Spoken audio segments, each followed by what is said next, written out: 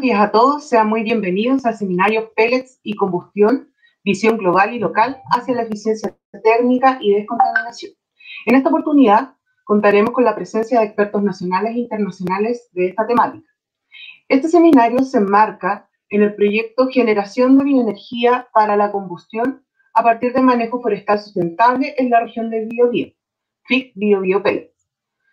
Es una iniciativa financiada por el Gobierno Regional del Biobío a través del Fondo de Innovación para la Competitividad FIC y desarrollado por la Universidad Católica de la Santísima Concepción. Agradecemos igualmente la colaboración de la Asociación Chilena de Biomasa, ASBIOM, y de nuestros media partners eh, del evento, Página B y Reporte Sostenible. Los invitamos a conocer sus plataformas. Les comento que durante toda nuestra transmisión podrán transmitir sus preguntas y comentarios a través del chat de nuestro canal de YouTube, que está activado. Para comenzar, y sin más preámbulos, invitamos a, nuestras autoridades, el señor Sereni de Energía y el prorector de la universidad, para dar las palabras de bienvenida. Inicialmente, invitamos al señor Mauricio Enríquez, Seremi de Energía de la región de Biobío, para que nos dé unas palabras de bienvenida. Adelante, señor Seremi.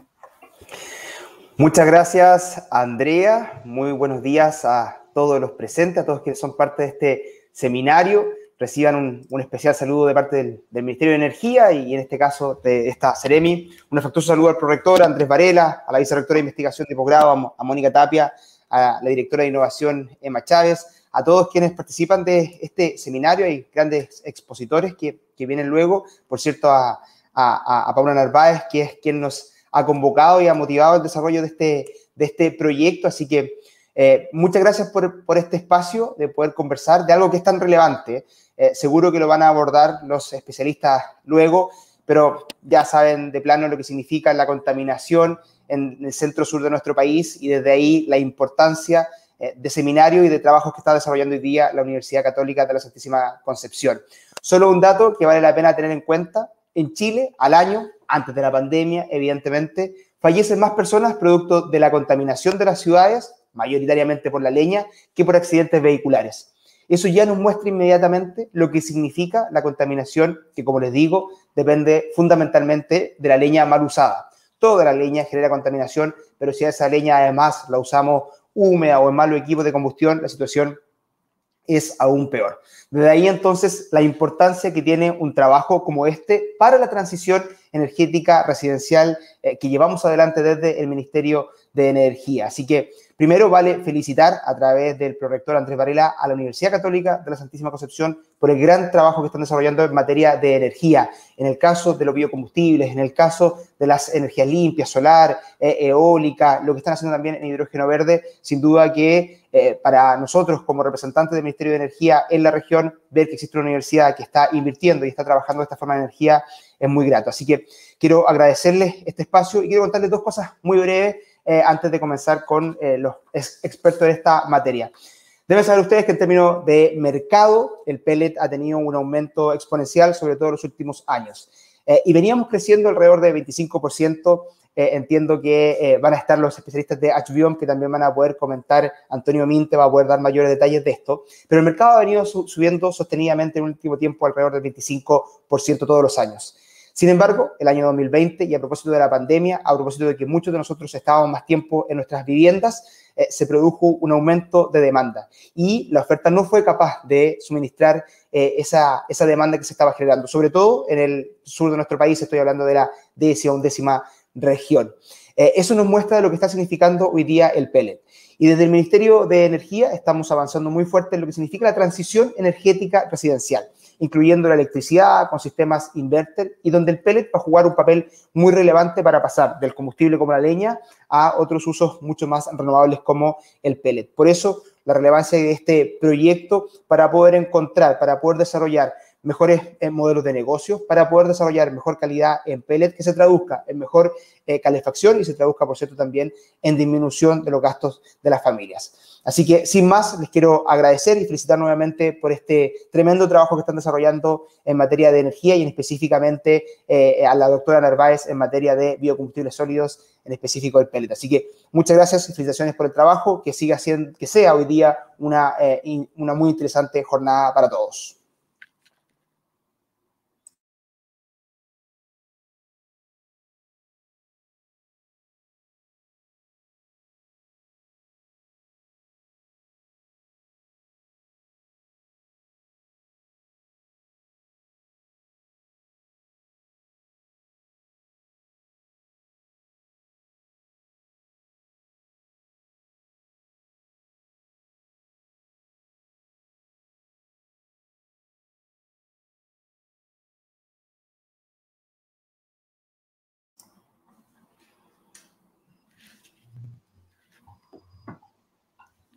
Silencio. Eh, digo muchas gracias, uh, Seremi, y a continuación los vamos a dejar con el prorector de la Universidad Católica de la Santísima Concepción, el señor Andrés Varela Fleckenstein, quien nos dirigirá unas palabras de bienvenida en nombre de la Casa de Estudios. Don Andrés. Muchas, muchas gracias, Andrea. Sean ustedes todos muy bienvenidos a este seminario que se enmarca dentro del proyecto FIC Bio Bio Pellet. Señor Seremi Mauricio Enrique, muchas gracias por su palabra, muchas gracias por la confianza en la universidad y, muchas gracias por eh, el reconocimiento que usted ha efectuado hacia el trabajo de nuestros investigadores. Eh, en primer lugar, quisiera recordar, ¿no es cierto?, que nuestra región del Biobío tiene una tradición histórica tanto en la generación de energía como en eh, la producción de, ciertos elementos combustibles, ¿no es cierto? Para nadie es un secreto la tradición minera que a partir del carbón desarrolló nuestra región durante mucho tiempo, desde antaño. Sin embargo, eso ha quedado atrás, eso ha quedado en el pasado y hoy día tenemos una oportunidad de revancha en la generación de energía, una revancha que podríamos llamar histórica. Hoy día tenemos la posibilidad de ser protagonistas de la producción de energía limpia, ya sea a través de eh, la biomasa o de otros elementos que nos provee la naturaleza o como es también la producción de hidrógeno verde. Pero esta revancha histórica tenemos que abordarla cumpliendo con ciertos desafíos, desafíos que son actuales. El primer desafío, obviamente, y el nombre del seminario lo dice, es la eficiencia. En segundo término, tenemos que tener muy presente el cuidado del medio. Nosotros estamos llamados, y el Papa Francisco nos ha interpelado, ¿no es cierto?, al cuidado de la casa común. Y ello es tremendamente relevante, porque además de cuidar la casa común, tendremos la oportunidad de cuidar a las personas, a nuestros habitantes de la región, del país, del mundo, a nuestros trabajadores, a nuestras familias, a las futuras generaciones. Pero estos desafíos tienen que enfrentarse juntos. No podemos enfrentarlos de manera separada. Y eso en BioBio lo hemos comprendido. Debemos trabajar juntos, la sociedad civil, los empresarios, el gobierno regional, las universidades a través de sus investigadores y de los medios que puedan poner a disposición los unos de los otros.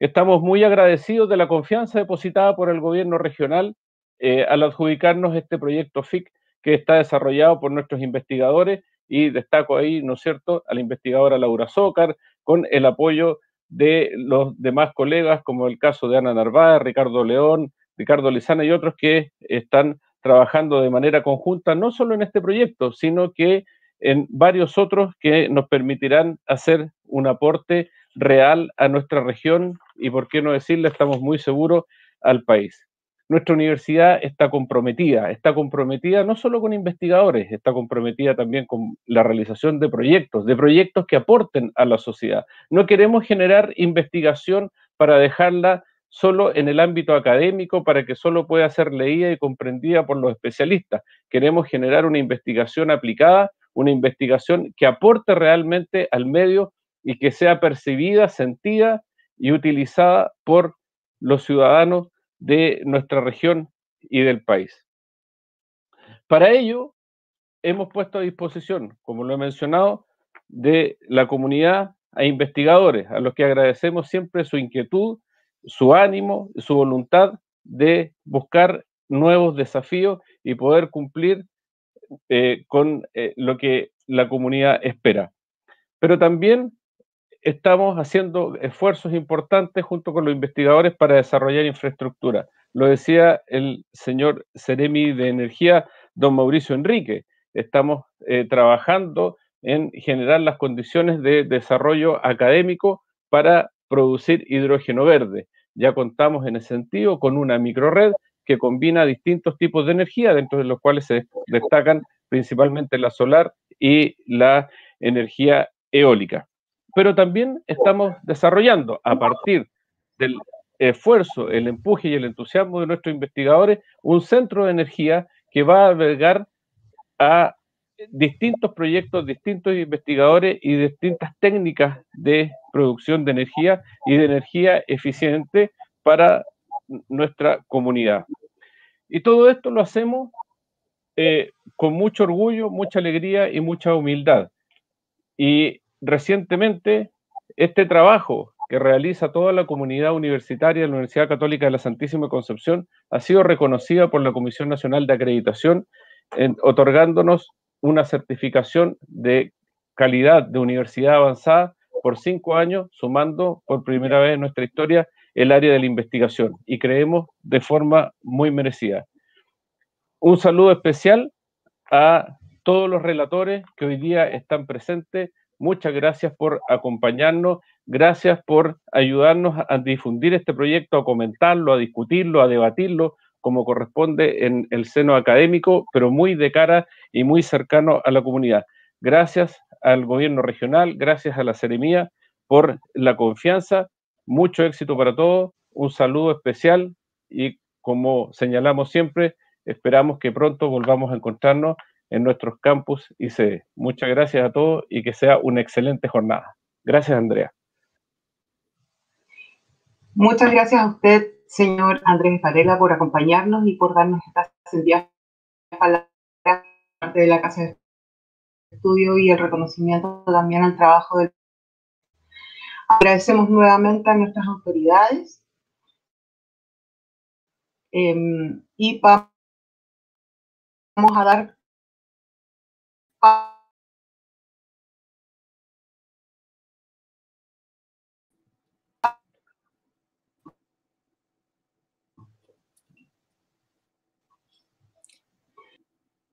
Em, hola Andrea, muchas gracias por la presentación. Eh, primero que todo, antes de, eh, mostrarles la presentación que, les tengo, eh, quisiera agradecer a las autoridades por su saludo, a los investigadores nacionales y extranjeros que nos acompañan el día de hoy, también a los empresarios que nos van a, acercar a ver qué desafíos tenemos que que alcanzar em, o en qué trabajar eh, para poder eh, responder a las necesidades eh, en relación al uso de pellets para combustión. voy a compartir mi presentación. Un segundo.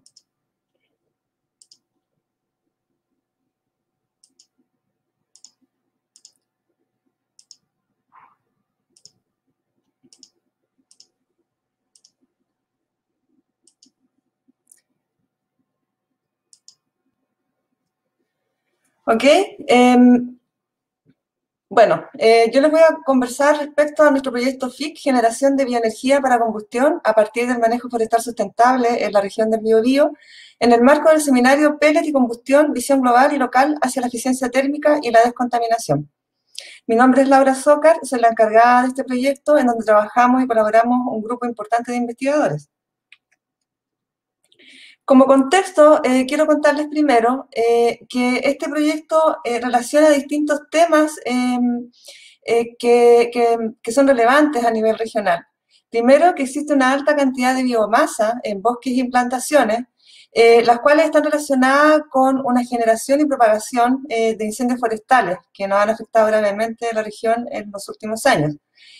adicionalmente, existe a nivel local una pobreza energética eh, que es un tema eh, bastante complejo que afecta a gran cantidad de la población y que se relaciona con eh, la combustión de leña húmeda que genera una em, em, baja o mala calidad de calefacción. todo esto ha llevado a que se genere un plan de descontaminación ambiental que ha promovido el uso de peles para combustión domiciliaria. Entonces, nuestro proyecto, el contexto de nuestro proyecto es que la extracción de biomasa residual generada de bosques y plantaciones, tales como raleos, poda y especies introducidas, permitirá prevenir la propagación de incendios forestales generando biomasa disponible para la producción de pellets para combustión. El objetivo de nuestro proyecto es potenciar la producción de pellets eh, para combustión a partir de manejo forestal sustentable para disminuir eh, la contaminación atmosférica producida por el uso de leña húmeda. Nuestros objetivos específicos es potenciar a las MIPIMES, eh, productores forestales y de leña nativa a través del desarrollo eh, de innovación. Em, perdón, me están informando, creo que no se ve bien la presentación, voy a volver a compartir. un segundo. Creo que hay un problema con compartir. No sé, Andrea, si tú me puedes comentar eh, acá. para poder saber... ¿Me escuchas bien? Sí, te eh, está pegada a la presentación. Entonces, si la puedes compartir en el PDF, quizás se puede ver mejor. Eh, vale, por favor, me indica si se... Eh, voy a entrar de nuevo, a ver si se puede ver. Dame un segundo. Bueno, estas cosas pasan aquí en...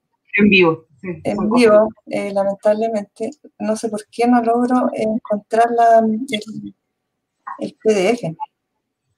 un segundo. Aprovechamos de dar las gracias nuevamente, eh, bueno, por supuesto al gobierno regional por, el financiamiento para nuestro proyecto a través del Fondo FIC, también a nuestro colaborador HBO y a nuestros media partners que son Página B y Reporte Sostenible. Mientras la doctora Zucker puede encontrar su presentación. Sí, no sé, algo pasa con, el, con la presentación. Eh, les pido disculpas, estoy eh, tratando de, de, encontrarla acá en el... lo que pasa es que no la logro ver en el... Eh, como compartir. Em, mira, lo, lo, que vamos a hacer, em, lamentablemente no la logro ver como para compartir. Lo que vamos a hacer es que vamos a seguir con la siguiente presentación y yo mientras voy a enviar esta presentación eh, para que por interno eh, Alex la pueda eh, mostrar cuando yo tenga que presentar, ¿vale? Para no atrasar el, programa. Así que vuelvo en unos minutos, voy a resolver el tema de la presentación y, mientras seguimos con la siguiente exposición. ¿Ok? Ok. Vale. Entonces, como comenta la doctora Zócar, para poder seguir con nuestro programa, vamos a continuar con la presentación del señor Pablo Rodero, quien es ingeniero de montes y empezó en el sector de la biomasa en el año 2006 en la empresa de trading de biomasa. Desde el año 2011 trabaja en Abebion eh, como responsable de proyectos europeos y certificaciones miembro de los comités CTN 164 de normalización de biocombustibles y de producción sostenible de biomasa, de biocombustibles, perdón. Es presidente del European Pellet Council y miembro de ABEBIO. Damos paso a su ponencia titulada Pellet, Energía Limpia de Futuro. Avances en Europa. Por favor, Pablo, si nos puedes compartir tu presentación. Muchas gracias. Muy, buenos días, Andrea. Espero que no tenga los mismos problemas y que, bueno, podéis ver sin problemas la presentación. Eh, muchas gracias, Andrea, y a Laura y a, y a por la, por la, bueno, pues por la oportunidad de presentar, ¿no? Eh, ¿Ya veis la presentación? ¿Sí? Se ve la presentación. Vale, perfecto. Pues empiezo. Nada, simplemente unas palabras de explicar qué es Abebion, que es la Asociación Española de Biomasa. Somos como el homólogo de Asbion, pero en España. Eh, tenemos toda la cadena de valor representada de la bioenergía, es decir, hay empresas que se dedican a recoger la biomasa, producir biocombustibles, hay productores de calderas o de estufas y hay incluso consumidores, ¿no? Porque hay empresas de servicios energéticos, las que llamamos SES, ¿no? Eh, hay muchos tipos de, somos 160 miembros y hay muchos tipos de, de, empresas. Es un poco reflejo de la biomasa, que es muy heterogénea y muy, muy diversa, pues igual así es la asociación nuestra. Hacemos sobre todo actividades de comunicación, eh, hacemos la Feria Expo Biomasa, que es ahora en, en septiembre, eh, gestionamos en Plus en España y otro sistema de certificación de calidad. Y bueno, y sobre todo mucha comunicación, ¿no? En la revista Biomasa News, que podéis ver tanto en la web como impresas dos, dos ediciones al año, pues es nuestra actividad principal. Estamos muy presentes en el tema de la calidad y de la sostenibilidad con en Plus y Biomasus, que son dos sistemas de certificación y el SURE, que bueno, es un sistema que se está empezando ahora, que es para cumplir eh, los requisitos de la nueva directiva que entra en vigor en, en junio en 2000 de este año.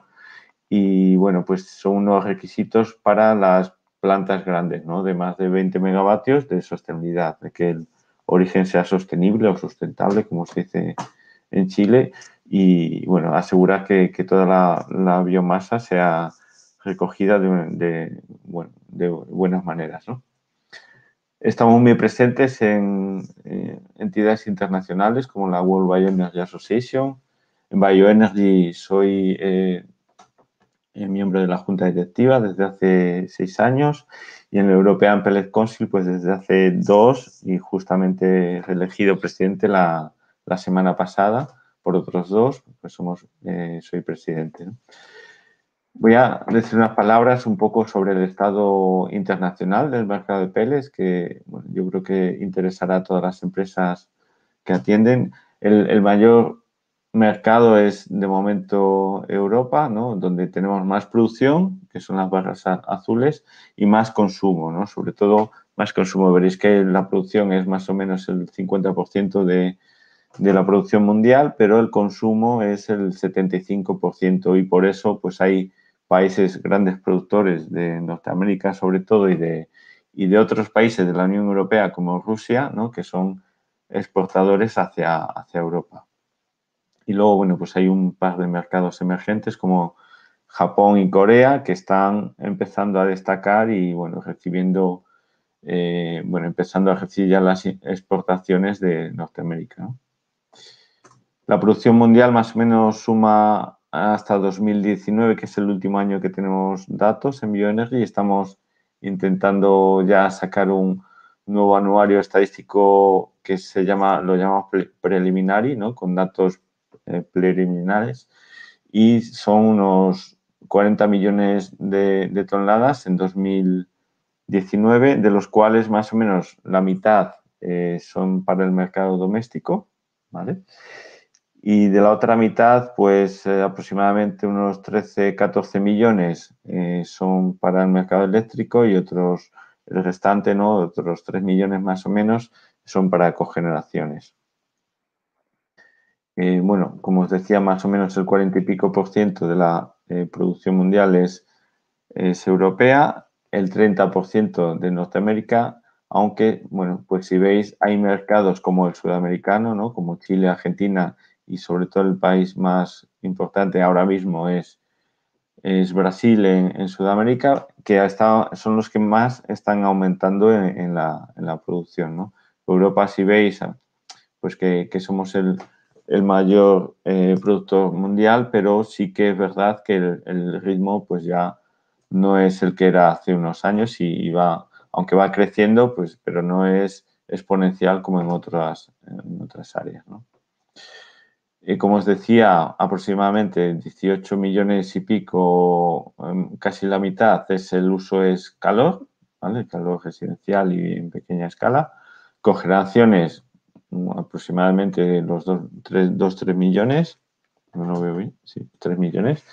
Y electricidad, eh, unos 15 millones de toneladas anuales. Todos datos de 2019 a la espera de que salga el nuevo anuario eh, próximamente. Vale. ¿Quiénes son los top 10 productores de pellet? Pues el primer país, y veis que incluso está a otra escala para mantener la distancia, es Estados Unidos, ¿no? Y aunque el consumo pues es muy pequeño todavía relativamente y casi toda su producción pues se, exporta, como decíamos antes. Canadá viene en segundo lugar, ¿no? También con grandes eh, superficies forestales y grandes fábricas. Y luego, pues los países, varios países, casi todos europeos, ¿no? En el, resto de los países, menos Vietnam, pues eh, son prácticamente todos de Europa, incluyendo a, Rusia, ¿no? Aproximadamente el 75%, como decía antes, del consumo se hace, el mayor cliente del mundo es, es Europa, por eso casi todas las exportaciones, como decíamos al principio, van hacia, hacia nosotros. El mayor consumidor es Reino Unido, ¿vale? Sobre todo por la producción de, electricidad, ¿vale? Hay solo, hay varias plantas de generación eléctrica, pero sobre todo Drax, que ya solamente ella consume 6-7 millones de toneladas. Y luego el mayor mercado doméstico de pellets es Italia con sus 3 millones y, pico. Es el mayor mercado de pellet doméstico en plus del mundo. En España todos los años realizamos unas estadísticas y hacemos un mapa de combustibles que incluimos a Chile y Argentina gracias a la ayuda de nuestros compañeros, sobre todo de Asbion. Y bueno, pues eh, eh, ponemos el listado de todas las peletizadoras con, bueno, también hay distribuidores, hay eh, productores de otras biomasas, un poco con su producción y con su localización y luego, bueno, pues con esos datos también generamos un, un informe, un anuario estadístico de, solo de las fábricas de España. La producción de Chile que tenemos nosotros asignada, que bueno, luego Antonio Minte pues dará datos más, más modernos, porque estos son de 2019, como anteriormente os decía, pues son unas 120.000, 21.000 eh, toneladas al año. Solo dos apuntes más eh, rápidamente. Quería decir que, comparado con otras energías fósiles, aparte de ser energías fósiles, pues la mayor desventaja que tiene es la dependencia, ¿no? El 70% en petróleo, esto es para Europa, estamos hablando, la Unión Europea. El carbón, aunque sí que hay grandes yacimientos, pues sabréis todos por las noticias, pues que estamos intentando eh, desfasar, ¿no? De, dejarlo de utilizar. Y bueno, el gas natural que se usa mucho, sobre todo en, en residencial, el 70%. Somos eh, dependientes. En cambio, la biomasa, aunque algunos ecologistas han criticado las importaciones, pero solamente estamos importando un 5% de la energía.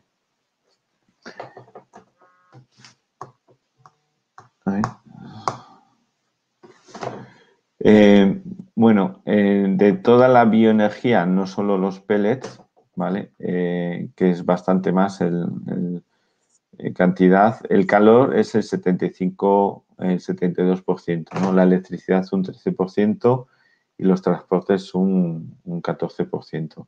Esto es lo que, lo que ahora mismo se está consumiendo en, en Europa y, bueno, sabéis por las noticias, entiendo que para 2030 va a haber objetivos muy, muy optimistas o muy ambiciosos y va a crecer o tiene que crecer obligatoriamente el uso de, biomasa, en, las energías renovables, de la biomasa en particular, porque los, hay planes a cada país, nos han hecho hacer un plan a 2030 de cómo van a llegar a esos objetivos y hay, bueno, pues unos, nosotros prevemos para España solamente, ahora mismo el mercado de biomasa son unos 8 millones en España y prevemos que se tienen que aumentar en unos 3 millones, ¿no? De toda la biomasa, no, solamente los, los pellets. El mercado de los pellets en España, para que os hagáis una idea, ahora mismo son unas 700.000 toneladas, tanto producción como consumo. Unas palabras de, de Plus que, bueno, ya veremos en una diapositiva más tarde, es primordial. La calidad a la hora de lo que decían los anteriores ponentes de las emisiones y la calidad del aire, es muy importante que estén certificados. En Plus, está en 45 o 46 países, ¿vale? Presente con aproximadamente el 70% del mercado del pellet doméstico, De los mm, aproximadamente 18 millones de toneladas, pues unos 12 o 13 están certificados con el Plus. En España, aunque si bien en cantidades somos un poco más modestos, sí que es verdad que en, número de empresas certificadas y en número, en porcentaje de, pues si vemos, era el 70% de los PLs certificados eh, en doméstico, en España es el 85%, ¿vale? O sea que, aunque es todavía modesta la cantidad de peles que se producen y que se consumen en España comparado con otros mercados, pero sí que están apostando por una calidad excelente. Lo importante de las certificaciones de calidad y es que eh, al final uno no está haciendo, no está siguiendo un estándar solamente, está siguiendo un estándar, pero hay una entidad tercera, una entidad independiente, un auditor que está haciendo una auditoría ¿no? y que está comprobando que efectivamente cada productor mediante auditorías y análisis, cada productor efectivamente está produciendo una, calidad determinada, ¿no? Y es muy importante eh, que la calidad sea constante, ¿no? No que una vez es de, por ejemplo, 0,2 de ceniza, otra 0,8 o 0,1%, sino que siempre sea la misma eh, calidad, ¿no? A la hora, pues, de optimizar los ajustes de la caldera, de fabricarlos, diseñar las calderas. Por eso es muy importante las, certificaciones, porque una, un estándar, seguir un estándar por un producto simplemente es una promesa, ¿no? Necesitamos a alguien que lo certifique. Las ventajas de la certificación, pues, son la confianza para el usuario final, que es primordial, porque cualquier cosa que pase, pues puede, hay un sistema de gestión de quejas implementado y es mucho más fácil, como decía antes, eh, diseñar las calderas para que cumplan unos objetivos, unas eh, restricciones de emisiones, ¿no? Eh, porque, bueno, las características son estándar, ¿no? Son, cumplen normativa y además son siempre constantes, ¿no? Y bueno, optimiza un poco, hace el mercado mucho más transparente. No es lo mismo hace 10 años que no había certificaciones, que tenías para comprar peles, tenías que acercarte a la fábrica, coger una muestra, eh, analizarla para ver qué calidad estaba dando el producto, que bueno, pues si te dicen que es un certificado en plus A1, pues da bastante más confianza ¿no? a la hora de comprar. Eh, esa confianza, pues bueno, al final nos viene dada porque hacemos una auditoría cada año, hay, cada productor está haciendo cada turno, eh, está haciendo auditorías, hay un sistema de quejas, como decía, incluso nosotros a mayores, ¿no?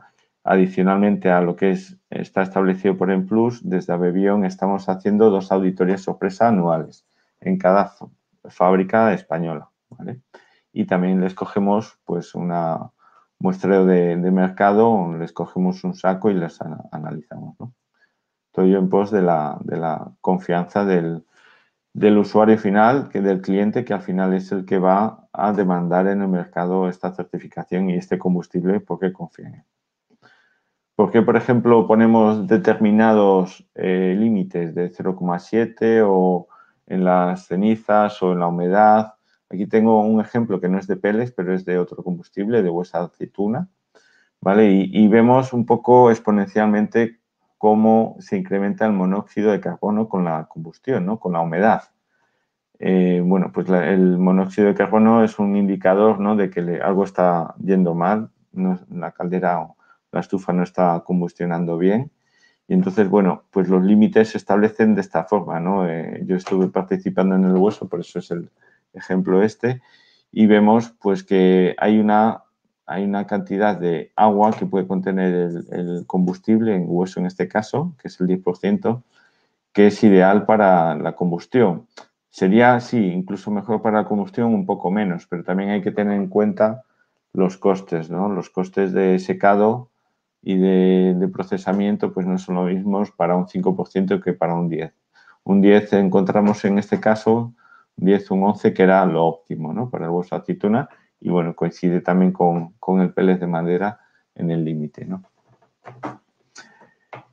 Y bueno, unas palabras ahora quería expresar sobre el papel de la bioenergía ahora y, en el futuro, ¿no? En, mercados como España o, Chile que está creciendo, pues es muy importante porque tenemos mucho potencial disponible, ¿no? Y eso, como decía antes, nos, nos da independencia energética sobre petróleo, gas natural o otros combustibles. Luego hay muchos tipos de, biomasa, eh, desde bueno, de todo tipo de materias agrícolas o, forestales que podemos utilizar para muchos tipos de, aplicaciones. ¿no? Es bastante eh, eh, diversa y nos suple muchas, muchas aplicaciones. El precio es muy competitivo y no solo eso, no solo es que sea barata, sino que es muy estable, ¿no? No depende de guerras o de, de cosas políticas. Tecnológicamente avanzada porque, bueno, pues con los móviles encendemos la caldera, eh, el 95% de rendimiento ya en casi todas las calderas. Y luego tenemos beneficios medioambientales, ¿no? Es una energía renovable, neutra en calor, aunque bueno, ya os un par de diapositivas que os voy a enseñar ahora, vemos que incluso puede ser negativa en emisiones de, carbono y eso para los objetivos. En Europa se habla más de descarbonización. Eh, ahora el objetivo es 40%, y 40%, pero están mirando en el Consejo Europeo, están mirando para aumentarlo a un 50%, ¿no? En, en 2030, incluso que en 2050 sea completamente descarbonizada la, economía. Para eso vamos a necesitar de tecnologías negativas como la, que, como la biomasa puede ser. Ahora os enseño de qué manera. Y luego también beneficios sociales y económicos, ¿no? La biomasa es mucho más intensiva en, en trabajo que otras energías incluso, bueno, pues es una forma muy barata de almacenar energía. El precio estable, como os decía, ¿vale? Este es un índice de, de, Austria, que, bueno, si veis es muy parecido al de que tenían el precio hace 14 años. El balance es neutro, como os comentaba, porque el, el CO2 que se está emitiendo la atmósfera se ha previamente fijado en la madera mediante la fotosíntesis, pero como os decía antes, existen tecnologías que ya se están probando en España y en Europa de eh, captura de carbono. ¿no? Hay dos metodologías, una sería la captura y almacenamiento en profundidad ¿no? para fijarlo en el suelo y hay otro pues que sería, por ejemplo, el ejemplo de esta eh, eh, planta de bioenergía que hay en Soria, en España, que lo que están haciendo es reutilizar el CO2, ¿no? Lo capturan en la chimenea, en la salida, pero eh, lo utilizan en, eh, pues en el invernadero que hay al lado, ¿vale? Para las plantas que necesitan más CO2 del normal. Y luego, por ejemplo, para bebidas carbonatadas, ¿no? Eh, para hacer refrescos, pues con CO2 que, que, obtienen de la chimenea, lo refinan y lo inyectan. Estas tecnologías van a ser muy útiles para conseguir, como decía, los objetivos que se nos plantean a 2030 y 2050 es mucho más intensiva en creación de, empleo, ¿vale? Unas 13 veces más. Y como decía, es mucho más fácil y eh, más barato de almacenar, eh, si veis la última generación de baterías de Tesla de 6,4 kilovatios hora, pues equivale más o menos a 1,3 de kilos de pellets, ¿vale? La energía almacenada, pero el precio en, en vez de 3.000 eh, dólares, pues el precio de, esa cantidad de peles son como 30 céntimos de, dólar. Es muy importante las emisiones y en Chile esto lo, sabéis bien y hay cuatro, parámetros, ¿no? Como decía antes, eh, ha habido problemas en, Chile, sobre todo por la leña en malas condiciones. Eh, los peles, por ejemplo, bueno, tenemos confianza en los sistemas de certificación y nos aseguran una, calidad, unas emisiones muy bajitas si cumplen ciertas eh, calidades, ¿no? Pero hay otros factores, hay cuatro pilares que son indispensables. También la regulación y mantenimiento de los equipos, ¿vale? Que una, la caldera o la estufa sea de un nivel tecnológico avanzado y importante también el diseño, ¿no? Si, hay mucho transporte de peles, por ejemplo, y se, se, hacen muchos finos y se meten finos en la caldera, pues al final está emitiendo muchas partículas, ¿no? Así que al final hay cuatro parámetros. Uno muy importante que acabo de mencionar es el mantenimiento. Aquí en esta gráfica podemos ver la diferencia de la misma, del mismo aparato con diferentes niveles de mantenimiento, ¿no? Uno muy bien, bueno, optimizado recién llega el técnico, por ejemplo, y uno normal de unos 500 miligramos metros cúbicos y uno pues que estuviera en muy malas condiciones, que sean unas emisiones muchísimo 10 veces o, o, mil veces más que, que, si fuese en óptimo, ¿no? Hay que certificar toda la cadena, ¿vale? No solo a los productores. En Plus, en España tenemos productores, pero al final nos dimos cuenta que había que intentar certificar toda la cadena porque de nada nos vale eh, si en el transporte se moja o se almacena inadecuadamente o si, bueno, pues sufre cualquier tipo de contaminación, ¿no? Entonces, para que todas las emisiones que hemos visto antes y todo sea correcto, pues hay que certificar también a, los traders, ¿no? A los distribuidores de, esta, de esta biomasa. Bueno, y, final, para finalizar, dos diapositivas, os traigo dos, dos ejemplos. Uno que es muy pequeñito, ¿vale? Eh, quizás no es un modelo de industrial para exportar biomasa o para producir mucho, sino es un modelo casi en, un pueblo, ¿no? De, para ser prácticamente autosuficiente. Es un pueblo que se, se, encuentra en la costa, pero bueno, pues es bastante montañoso, bastante bonito. Y si veis, pues bueno, sí tiene mucho sol y, mucho bosque y el problema es que, bueno, pues sufren incendios, como veis en esta foto. Entonces, ¿qué, qué, decidieron en el ayuntamiento? Pues eh, decidieron invertir en una fabriquita pequeña, unas 500 toneladas de capacidad al año, que tenemos empresas en España que las distribuyen. Y bueno, ser autosuficientes prácticamente, ¿no? Utilizar en el ayuntamiento, en el colegio, en un par de calderas, esos pellets, pero sobre todo lo que hacían era utilizar esos residuos del monte que provocaban los incendios en verano eh, y, bueno, pues gestionar todos esos residuos, quitar el combustible del monte y, bueno, pues ya de paso mm, generar un, par de empleos, ¿no?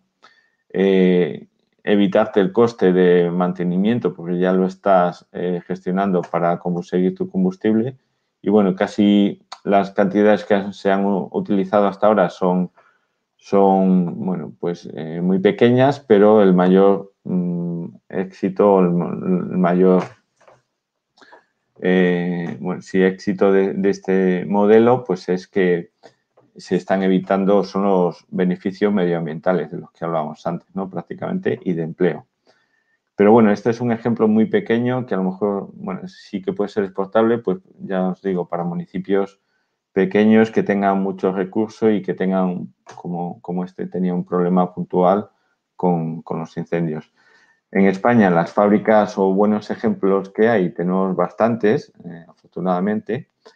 Eh, prácticamente casi todos, os he traído aquí un par de fotos, pero bueno, no quiero dejar de mencionar a otros miembros de la asociación que también lo están haciendo muy bien y os he puesto, hay bastantes en la lista y, os he puesto un link al listado completo, pero prácticamente los mejores ejemplos pues son pues porque no, no son una fábrica para generar peles únicamente, sino que están diversificando en su actividad, ¿no? Eh, pues hace, es una fábrica de, de palés, por ejemplo, o de madera industrial o de, o de bobinas y, bueno, pues aprovechan eh, esos residuos que tienen de su actividad principal o de una actividad paralela para conseguir materia prima a buen precio y por supuesto que esté asegurada. Apuestan casi todas estas fábricas que veis, están, bueno, todas están certificadas y la mayoría en, en dos, ¿no? no solo en Plus, sino también en DIN Plus. Así que están apostando todo lo que pueden por la calidad de cara al cliente y de cara al cliente y de cara hacia adentro, ¿no? Están industrializando, o sea, eh, automatizando casi todo, ¿no? Lo que llaman Industria 4.0, sobre todo porque, bueno, pues una fábrica de 50.000 o de 70.000, pues prácticamente la maneja las mismas personas que una pequeñita como la que contaba antes, ¿no? Del pueblo. Entonces, bueno, los costes, eh, la economía de escala no, no tiene piedad y los costes son mucho menores y, por supuesto, la capacidad de, competir en el mercado es mucho mayor la de esto. ¿no? Y bueno, también hace muchos esfuerzos en la gestión de stocks porque, bueno, me imagino que igual que habéis tenido falta este año, aquí este año ha sobrado pellets y, bueno, no es, no es fácil eh, compaginar todos estos años que hay buenos y malos y, bueno, hay que tener un pulmón, una económico y, bueno, un buen almacenamiento de PRES, ¿no? Y ya, sin más, pues muchas gracias. Os dejo aquí todos los detalles de contacto y, bueno, supongo que la presentación la, van a pasar, pero si no, no tengo ningún problema en que la pidáis. Muchas gracias. Muchísimas gracias a ti, Pablo, por esta completa presentación, eh, donde nos has mostrado una revisión del mercado de pellet a nivel internacional y también nos ha entregado una mirada muy importante, que es cómo el pellet y la biomasa en general puede apoyar tanto a la independencia energética, como también trae beneficios sociales, económicos y ambientales a donde se utiliza. Además, también mostrarnos estos ejemplos eh, que podrían ser muy bien como tú dices, traídos también a Chile, y eh, indicar la importancia en la certificación de calidad de pellet. Muchísimas gracias, Pablo, por, por, tu presentación y por acompañarnos el día de hoy. Bueno, gracias a ustedes y por la, por la invitación. Buenas tardes. Muchas gracias, Pablo. Ahora eh, veamos la presentación de la doctora Laura Zócar. A ver si se puede compartir bien. Eh, gracias, Andrea. Em, les pido eh, las disculpas por los problemas técnicos. Em, siempre nos preparamos bastante, pero bueno, son cosas que, que a veces eh, pueden salir mal. Eh, mi idea es contarles respecto a este proyecto que hemos estado desarrollando, los avances que tenemos hasta la fecha. El proyecto lleva ya más de un año de, de ejecución. y brevemente les voy a contar en qué consiste y los avances como les, les comentaba. Bueno, em, primero el contexto, ya eh, la mayoría lo conoce, hay una alta cantidad de biomasa que favorece eh, incendios forestales y también hay una necesidad de, un combustible eh, propio que nos independice de alguna manera energéticamente y también tenga una menos carga contaminante. Em, todo esto también está respaldado por un plan de descontaminación atmosférica que ha promovido el uso de peles para combustión domiciliaria. Entonces, nuestro proyecto eh, eh, tiene este contexto. Nosotros queremos buscar materia prima, eh, esta biomasa que está en alta cantidad en bosques y plantaciones, que pueden ser raleos, podas, algunas especies introducidas que se propagan con facilidad, y ocupar esta biomasa para analizarla, estudiarla y ocuparla para la producción de pellets para combustión. Eh, los objetivos del proyecto, por lo tanto, son potenciar la producción de pellet eh, a partir de un manejo forestal sustentable para disminuir la contaminación atmosférica eh, que produce el uso de leña húmeda. Para eso hemos trabajado en tres objetivos específicos. Uno, trabajar con las MIPIMES, productores forestales y de leña nativa, a través del desarrollo de innovación para producir pellet. También potenciar el desarrollo e incremento de la competitividad de las MIPIMES que ya existen a nivel local y que producen pellet y trabajar con la comunidad, eh, capacitar eh, eh, a la comunidad y difundir esta alternativa de calefacción. Somos un equipo grande de, investigadores, tenemos un equipo gestor que trabaja con nosotros y investigadores que lideran distintas líneas que están asociadas al proyecto, algunas asociadas, por ejemplo, al área de bionegocio, otras al área de, de, incendios forestales, al trabajo con las pymes, Em, el área de difusión y comunicación, también el área de combustión, que es eh, el tema que nos convoca hoy día en, este seminario. Junto con este equipo eh, interno de, investigadores y de profesionales y técnicos, hay colaboradores que han respaldado la ejecución de este proyecto. Algunos colaboradores son eh, del área académica, por ejemplo, también empresas que, que nos apoyan y algunos colaboradores internacionales eh, como los que nos acompañan eh, hoy a través de sus exposiciones. Para desarrollar este proyecto, básicamente, eh, nosotros tenemos tres componentes principales que se asocian a los tres objetivos específicos que yo les comenté. El primer componente tiene que ver con el desarrollo de innovación estudiar estas biomasas que nosotros tenemos disponibles y ver su factibilidad de utilizarlas para eh, producir pellets, analizarlas químicamente. Para eso hemos implementado laboratorios pilotos, estamos, por ejemplo, evaluando las incorporaciones de aditivos, etc. El siguiente componente es eh, trabajar eh, con las MIPIMES para que ellos mejoren sus procesos. Y el tercer componente tiene que ver con la difusión y tener una comunidad informada respecto a esta alternativa de calefacción. Respecto al primer componente, eh, lo, que le, lo, que le puedo contar a usted eh, respecto a avances que hemos tenido hasta el momento, uno tiene que ver con el área de em, cómo la extracción de cierta cantidad de, biomasa podría em, disminuir la propagación de incendios forestales. Para esto, eh, el investigador Gustavo Saiz, junto a un equipo de, profesionales, está trabajando en una zona denominada, una comuna que se llama Curanilahue, eh, y otras zonas también, pero eh, por ahora están principalmente enfocados en esta área. Y ellos han definido una zona de interfaz urbano-forestal eh, para ver la opción de recolectar biomasa de esa área. ¿Por qué? porque primero recolectar biomasa de esa área eh, resulta más económico para poder producir pellet y también porque es el lugar que genera más peligro a la hora eh, de que ocurran incendios forestales. Esta área de interfaz urbano-forestal eh, comprende más o menos 2,4 kilómetros y es donde se está trabajando actualmente en recolectar biomasa y en hacer estos estudios de ver si disminuirían los incendios forestales al poder hacer raleos o extracción de biomasa de esta zona. Eh, dentro del mismo componente del área de, innovación, eh, del área más de investigación del proyecto, está la línea de bionegocios. Acá el investigador Andrés Ulloa eh, ha hecho una recopilación de la información hasta la fecha. en Chile todavía la producción de pelo es bastante baja. Estos son datos un poco antiguos, pero tampoco ha aumentado demasiado. Sin embargo, es un mercado que, que ha ido creciendo anualmente, como comentaba el Ceremi previamente, eh, y eh, gran parte de la producción eh, se genera en esta región, en, la región del Biobío, donde está ubicada nuestra universidad. Por eso el interés en desarrollar un proyecto como este a nivel local. también el aumento del consumo de pele está asociado a buscar formas de disminuir la contaminación ambiental, ambiental a promover el recambio de, de calefactores, seguridad, independencia energética, entre otros temas ambientales. Eh, otro punto que ha llevado a motivar la producción de pellet eh, son los quiebres de stock, eh, de los que habló el Ceremi también. Uno ocurrió en 2014 y otro recién el año pasado, producto probablemente de la pandemia, que la gente está más en su casa, lo cual ha motivado a buscar distintas materias primas que permitan también apoyar en tener una mayor producción de pellet debido a esta mayor demanda. Dentro de este componente también eh, de, innovación y de investigación, como yo les decía, nosotros estamos analizando distintos tipos de especies que hay. En Chile el pelo se produce principalmente de acerrín de pino, que se genera como residuo de la industria de la celulosa. Sin embargo, como les comentaba, existen eh, muchas más alternativas de biomasa que podrían eh, apoyar el desarrollo de esta industria.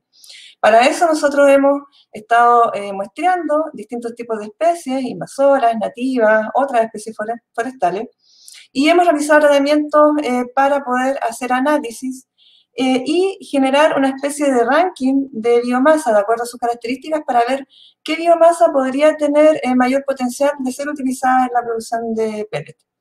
Como esta área está ligada bastante a la investigación, también hemos generado algunas publicaciones en este tema. Dentro de, este, de esta área de, del trabajo con las MIPIMES productoras forestales, nosotros también hemos eh, trabajado en la construcción de un laboratorio eh, para poder eh, desarrollar toda la investigación. Esta, este, esta, investigación, lamentablemente por los temas de la pandemia esto ha ido un poco lento, pero acá hay una foto de, de la construcción que se está generando hasta la fecha para la implementación de, de, nuestros laboratorios. En esto, tal como decía don Andrés Varela, eh, nosotros, em, junto con la implementación de los laboratorios para el, proyecto este en particular de BioBio Pellet, que son los laboratorios de pellet de combustión y de secado de biomasa, eh, gracias al trabajo en colaboración y el apoyo de la universidad, eh, esto ha generado que no solamente se construyan estos laboratorios, sino que se construya un centro de energía en la Universidad Católica de la Santísima Concepción.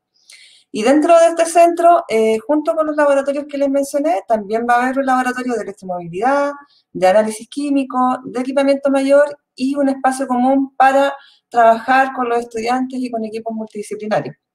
Eh, y esta es una foto de la obra, la que les mostraba previamente eh, en, la etapa que va en este momento. junto a este laboratorio hay un área que está relacionada con el secado de la biomasa, eh, que es un, eh, un laboratorio eh, externo en donde se va a trabajar en investigar el uso de energía geotérmica y solar para usarla como una energía más económica para el secado de la biomasa, que es un aspecto clave en el tema de producción de, de adicionalmente, la investigadora Carolina Aguirre está trabajando en probar el uso de aceites residuales de fritura como un aditivo para el pellet. Eh, la incorporación de aceites es algo que se ha eh, investigado previamente eh, y si bien puede aumentar el poder calorífico, puede afectar en cierto aspecto negativamente las propiedades mecánicas del, del pellet. Por lo tanto, se está trabajando con una metodología de optimización que permita mejorar la calidad del pellet sin afectar negativamente estas propiedades mecánicas. Eh, junto al anterior, en el trabajo con las MIPIMES, también el investigador eh, Ricardo León está trabajando con las empresas, eh, muestreando el peles que ellos producen y a través de encuestas para conocer algunos parámetros relevantes de la biomasa que están ocupando actualmente las pymes de la zona, las pequeñas y medianas empresas, y también conocer parámetros claves del proceso. Eh, acá es relevante eh, destacar que no solamente eh, se ha trabajado con ellos en parámetros relevantes, sino que se ha identificado que también nosotros podríamos apoyar, por ejemplo, en capacitación. queremos hacer algún apoyo en capacitación en temas de normativa, por ejemplo, en mecánica, en electricidad, a personal de las empresas pymes que actualmente existen a nivel local. Eh, junto con lo anterior, yo les comentaba que eh, el tercer objetivo del proyecto es em, comunicar, es dar a conocer esta alternativa energética a, la población, a la comunidad en general.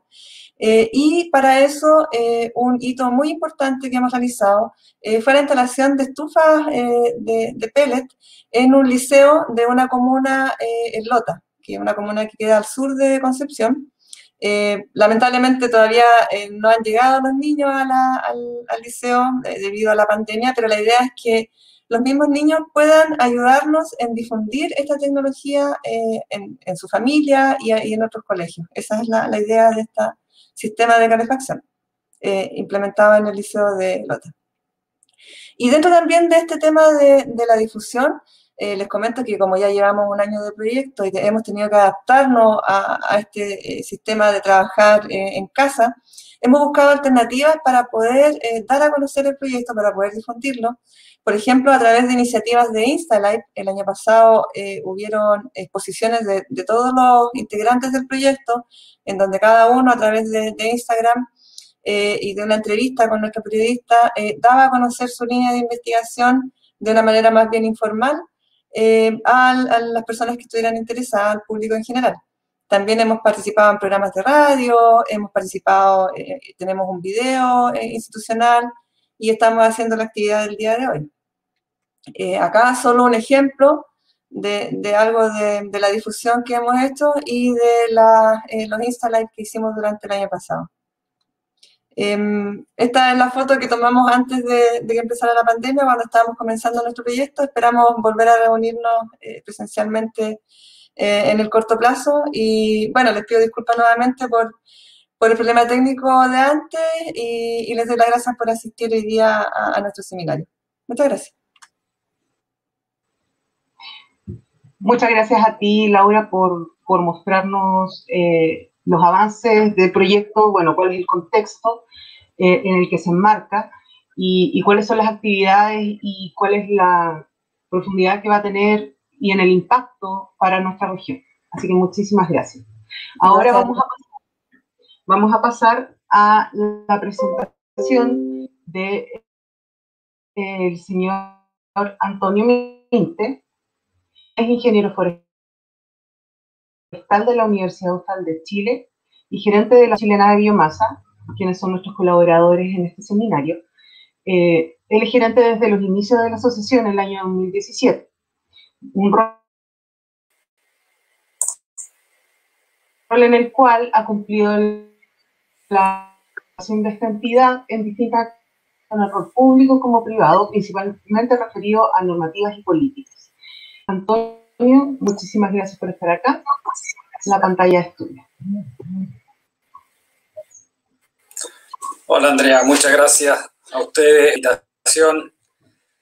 Eh, tengo, sí que voy a andar rápido para tratar de presentar la mayor información posible. Eh, coméntenme si están viendo la presentación. Parece sí, ¿cierto? Sí, se ve bien. Muchas gracias. Ok. Vamos a avanzar entonces. Eh, he dividido en, cinco temas, pero cuatro temas referidos a, a los datos en sí como le digo, tengo 10 minutos, y que quizás sea una presentación bastante más acelerada que, que las que me precedieron.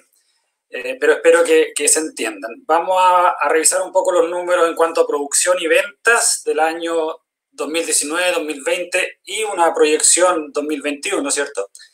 Eh, datos de ventas por región también, un, poco de evolución del mercado, como mostró también eh, nuestro colega Pablo Rodero, Rodero y cómo se estaría moviendo la capacidad instalada y una pequeña proyección también en 5 y 10 años más de, esa información. Eh, y por último, un par de proyectos relacionados a la producción de pellet y actividades que realiza HBO. Bien, eh, sin proyectar todavía, este, este, gráfico tiene los últimos tres años. Eh, dejo para después el año 2021. y aquí podemos ver, voy a poner un poco de el, puntero. Eh, la dificultad es que tuvo la industria el año pasado, eh, si bien todos sabemos ya lo que, lo, que sucedió, ¿cierto? El quiebre de stock que tuvimos, eh, que principalmente lo, lo, estamos visualizando, aún estamos analizando, ¿cierto? Se debió a, a los temas de, de, pandemia, a este confinamiento y que realmente las familias pasaron mucho más tiempo en los hogares, lo que significó un mayor costo de energía. Pero eh, se hablaba también, y fue eh, la cuña, de, recuerdo de muchos seremis que comentaban que fue la tormenta perfecta, porque también la industria tuvo problemas, y aquí lo vemos, cómo los, los volúmenes bajaron en, en abril, eh, marzo, abril y mayo, se redujeron por problemas, como les digo, de la misma industria, ya sea problemas de abastecimiento, problemas de incendios o problemas de quiebre inclusive de sus socios principales eh, como son los aserraderos. Ahora, cuando proyectamos qué, es lo que se, vendría para este año, la producción del 2021, esto eh, definido por los mismos productores con eh, sus metas de producción. No, no, no es la capacidad de producción instalada, estas son sus metas de ellos reconociendo que pudieran tener eh, ciertas problemáticas o que eh, tuvieran un acceso adecuado también a la materia prima. Y obviamente eh, el incremento es notorio en producción.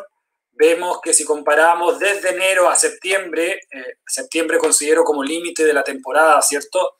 Habría un 68% más de volumen de producción comparado con el año pasado. Y si comparamos solamente el invierno, este número mejora, pero Vamos, vamos a ver un poquito más adelante que eh, por mucho mayor que es este número, eh, el mercado no, es no, no, va a estar tan relajado como estos números lo indican.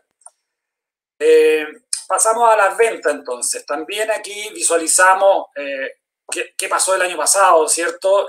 nosotros prendimos Rápidamente las luces, le informamos al Ministerio de Energía, en marzo eh, encontramos que estaba sucediendo algo extraño, las ventas habían subido mucho más de lo que se esperaba y esto continuó en abril eh, y después bajó en mayo. Aquí en mayo nos causó una falsa relajación, ¿cierto? Los, los empresarios dijeron, ok, al parecer se reguló esto, fue una compra anticipada porque las personas se asustaron por por el tema de la pandemia, ¿cierto? Salieron a comprar de todo, se acababa el confort, se acababan las bencinas, inclusive en algunos lados. Entonces pensábamos que la curva se iba a normalizar, pero eso no sucedió y volvió el incremento de las ventas, eh, lo cual nos llevó, eh, sumado a, la problemática que les mostré anteriormente en la producción, nos llevó a fines de agosto o en el mes de agosto a tener un quiebre de stock. Eh, todo, la, la, industria logró responder a este 40% más de venta eh, y ese es el número que podemos controlar, ¿cierto? No sabemos cuánto más podría haberse vendido, es muy difícil de, de poder analizar el número, de que, de, el volumen que estaría faltando. Bien, ya, ya teniendo un par de números de las ventas de enero y eh, febrero del 2021, vemos, eh, aquí no hay que confundirse con este dato, es eh, es un buen dato, está siendo bien mirado desde la industria porque obviamente no es un consumo, sino que es una venta anticipada. Eh, los, los consumidores se están preparando para tener volumen, ellos estoqueados, ya sea en las casas y seguramente algunos distribuidores también en sus propias plantas. Eh, lo que ha llevado que a las ventas sumado enero y febrero son un 285% más que las ventas del, del año pasado. Bien, eh, ahora, haciendo un poquito más cerrada eh, el neteo, ¿cierto? Comparándonos las ventas del año pasado con la producción esperada de este año. Eh, vemos obviamente que las curvas se ajustan un poco más, ¿cierto? A lo que se mostraba en los primeros gráficos de que solamente comparaban producción en los años. y aquí estaríamos hablando que tenemos un volumen esperado, ¿cierto? hay que recordar, y aquí no queremos eh, levantar falsas expectativas. Eh, hay que recordar que estamos en pandemia. Eh, todas las industrias de diferentes rubros se han visto afectadas por la situación sanitaria que, estamos viviendo, tanto a nivel nacional y, la industria también a nivel internacional se ha visto afectada. por lo tanto, tendríamos un 40% más de volumen que las ventas del año pasado, pero hay que estar muy atentos se está haciendo una proyección, ahí lo, lo, describo en el título, ¿cierto? Que eh, junto al Ministerio de Energía, nosotros nos encargamos de hacer la proyección de la oferta y el Ministerio de Energía está eh, ajustando la curva de demanda donde entran muchas variables. Esperamos que la próxima semana o en dos semanas como máximo se va a tener una, una curva ajustada de demanda que va a tomar distintas variables, ¿cierto? Desde el número de equipos del, programa de recambio y de la venta de privados, eh, la estacionalidad de consumo, ¿cierto? Mes a mes, la ubicación geográfica, entre otras variables. Bien, eh, como lo mencioné también en, el principio, eh, visualizar un poco las ventas a, a, nivel de regiones. Hay muchas personas, y aquí pido quizás un poco de disculpa, este es un informe que está recién egresando, estamos recién terminando, son números bastante nuevos, eh, y aquí vemos cómo la dominancia de tres regiones es muy importante, ¿cierto? Como principal región, los lagos, le sigue la Araucanía y le sigue el Biobío, y con una dificultad en, la cuarta región, por decirlo así, en, la región metropolitana, eh, porque no hemos podido definir bien el número. Sabemos cuánto se va a la región metropolitana, pero también sabemos que de la región metropolitana se distribuye nuevamente a otras regiones. Eh, pero hemos afinado eh, lo máximo posible ese número y estaría cerca de las 13.000 toneladas de consumo la temporada. Y aquí vemos el mismo gráfico, pero en porcentaje, y vemos que, como les dije, las tres principales eh, regiones, los lagos, Araucanía Biobío, están cercanos a un 57% del de, el volumen del mercado. ¿ya? Y aquí es importante destacar que los lagos es la, de mayor consumo y se espera que haya un crecimiento mucho mayor en esta región porque hasta la fecha solo estaba la ciudad de Osorno con PDA en la región de los lagos y para este año ya se aprobó eh, la incorporación de una macrozona en la, en la región de los lagos que abarca las ciudades de Frutillar, Yanquihue, Puerto Varas y Puerto Montt. Por lo tanto, eh, se espera obviamente que el programa de recambio cause un, impacto y que haya un mayor consumo en estas regiones, no necesariamente en este 2021, pero sí del 2022 en adelante. Eh, la evolución ya de los últimos 10 años, vemos que el mercado, como decía Pablo, en sus inicios, igual que en Europa, tiene una curva más exponencial, que desde el 2011 al 2020 se creció un 900%. Eh, esto lo obtenemos gracias a datos también y aprovecho de eh, agradecer a, a, Ecomás principalmente por la información, ya que desde HBO estamos generando este observatorio desde el 2018, por lo tanto la, la data anterior es eh, posible dado a que Ecomás ha ha compartido la información de mercado que yo he estudiado. Bien, y si vemos cómo cómo vamos a crecer en el futuro. Está también una encuesta hecha no solo a la industria actual, obviamente, sino que a eh, proyectos que se están eh, estimando construir y vemos que la curva continúa eh, en ese sentido exponencial y esperamos que al 2030 lleguemos cerca de las 900.000 toneladas, aquí con una salvedad de que no todo este pellet va a ser domiciliario, hay un gran porcentaje de que va a ser un pellet industrial, que va a ser un pellet que no venga solamente de la materia prima que proviene desde la industria de la madera, desde los aserraderos, ¿cierto? Sino que también de, esta materia prima que se está hablando justamente en este proyecto, que eh, remanentes del bosque eh, o directamente desde remanentes de la cosecha. un poco ya terminando, en los proyectos, como les mencionaba, en los cuales estamos relacionados, bueno, eh, uno de los más importantes, sin, sin, querer dar grado de importancia, pero justamente lo mencionó Pablo Rodero también, la importancia de la certificación.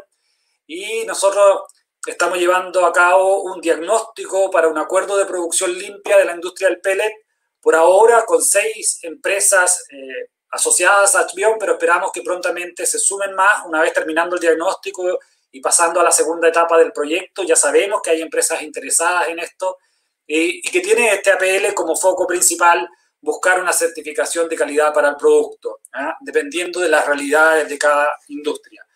Bueno, el proyecto FIC, Bio Bio Pellet, que nos convoca hoy día, eh, hay un proyecto en la región de los ríos también eh, que busca eh, estudiar la posibilidad de producir pellet a través de residuos de alimentos de los colegios. ¿ah? Es bastante interesante el impacto social que podría tener ese proyecto, también lo estamos acompañando. Además, como HBO participamos del Comité Espejo del Instituto Nacional de Normalización, donde se han revisado las normas eh, de los biocombustibles, que esperamos también sean la base del nuevo proyecto de ley que, venga a regir eh, los biocombustibles. Como Atbiom, junto al Ministerio de Energía también tenemos un proyecto que se llama los Centros Integrales de Biomasa, bajo un instrumento de bien público de Corfo, eh, que es un modelo de comercialización de biomasa que se ha fomentado en Europa y que esperamos también poder desarrollar en Chile, sobre todo eh, para avanzar en el mercado de la leña, en su comercialización, pero también, como mostraba Pablo Rodero, en que esta industria se vaya diversificando y tenga eh, los distintos tipos de combustibles en una misma ubicación. Y por último, un trabajo en conjunto que estamos realizando con el Ministerio de Energía para una propuesta de estrategia eh, estratégica, ¿cierto?, para impulsar el desarrollo y modernización del mercado del pellet, dentro de la cual estamos revisando una, un plan de emergencia. todo el resto de, combustibles y, o electricidad, digamos, a través del Ministerio de Energía, tienen un plan de emergencia y los biocombustibles, por no estar reconocido aún, no cuenta con este plan de emergencia. Bueno, nos estamos anticipando a la ley y junto al ministerio estamos creando este plan de emergencia para estar más preparados en caso de que ocurran eh, situaciones como las del año pasado, que esperamos que no ocurran, pero uno nunca eh, tiene todas las, cartas jugadas como para saber qué, qué, qué puede pasar. Eso, me pasé un par de minutos, pero, ah, y aquí tengo a nuestros asociados, igual hacer la última invitación antes de terminar.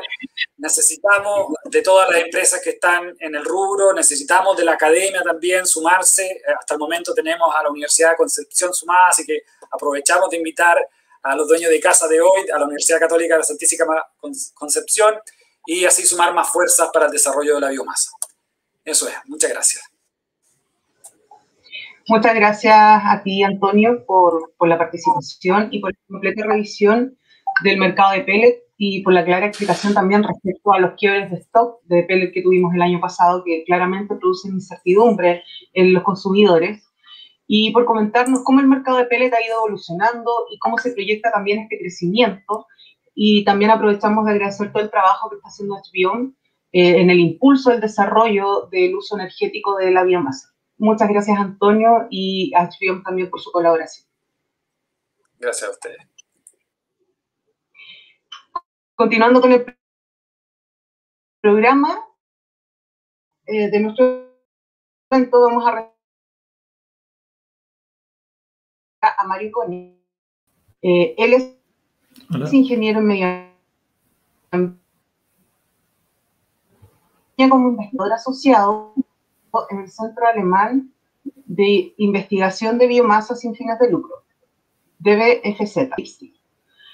En el Departamento de Conversión Termoquímica, sus temas de investigación son reducción de emisiones primarias y secundarias y combustión de biomasa alternativa como combustible. ¿Quién nos presentará hoy desafíos de la combustión de pellets de biomasa alternativa? Adelante.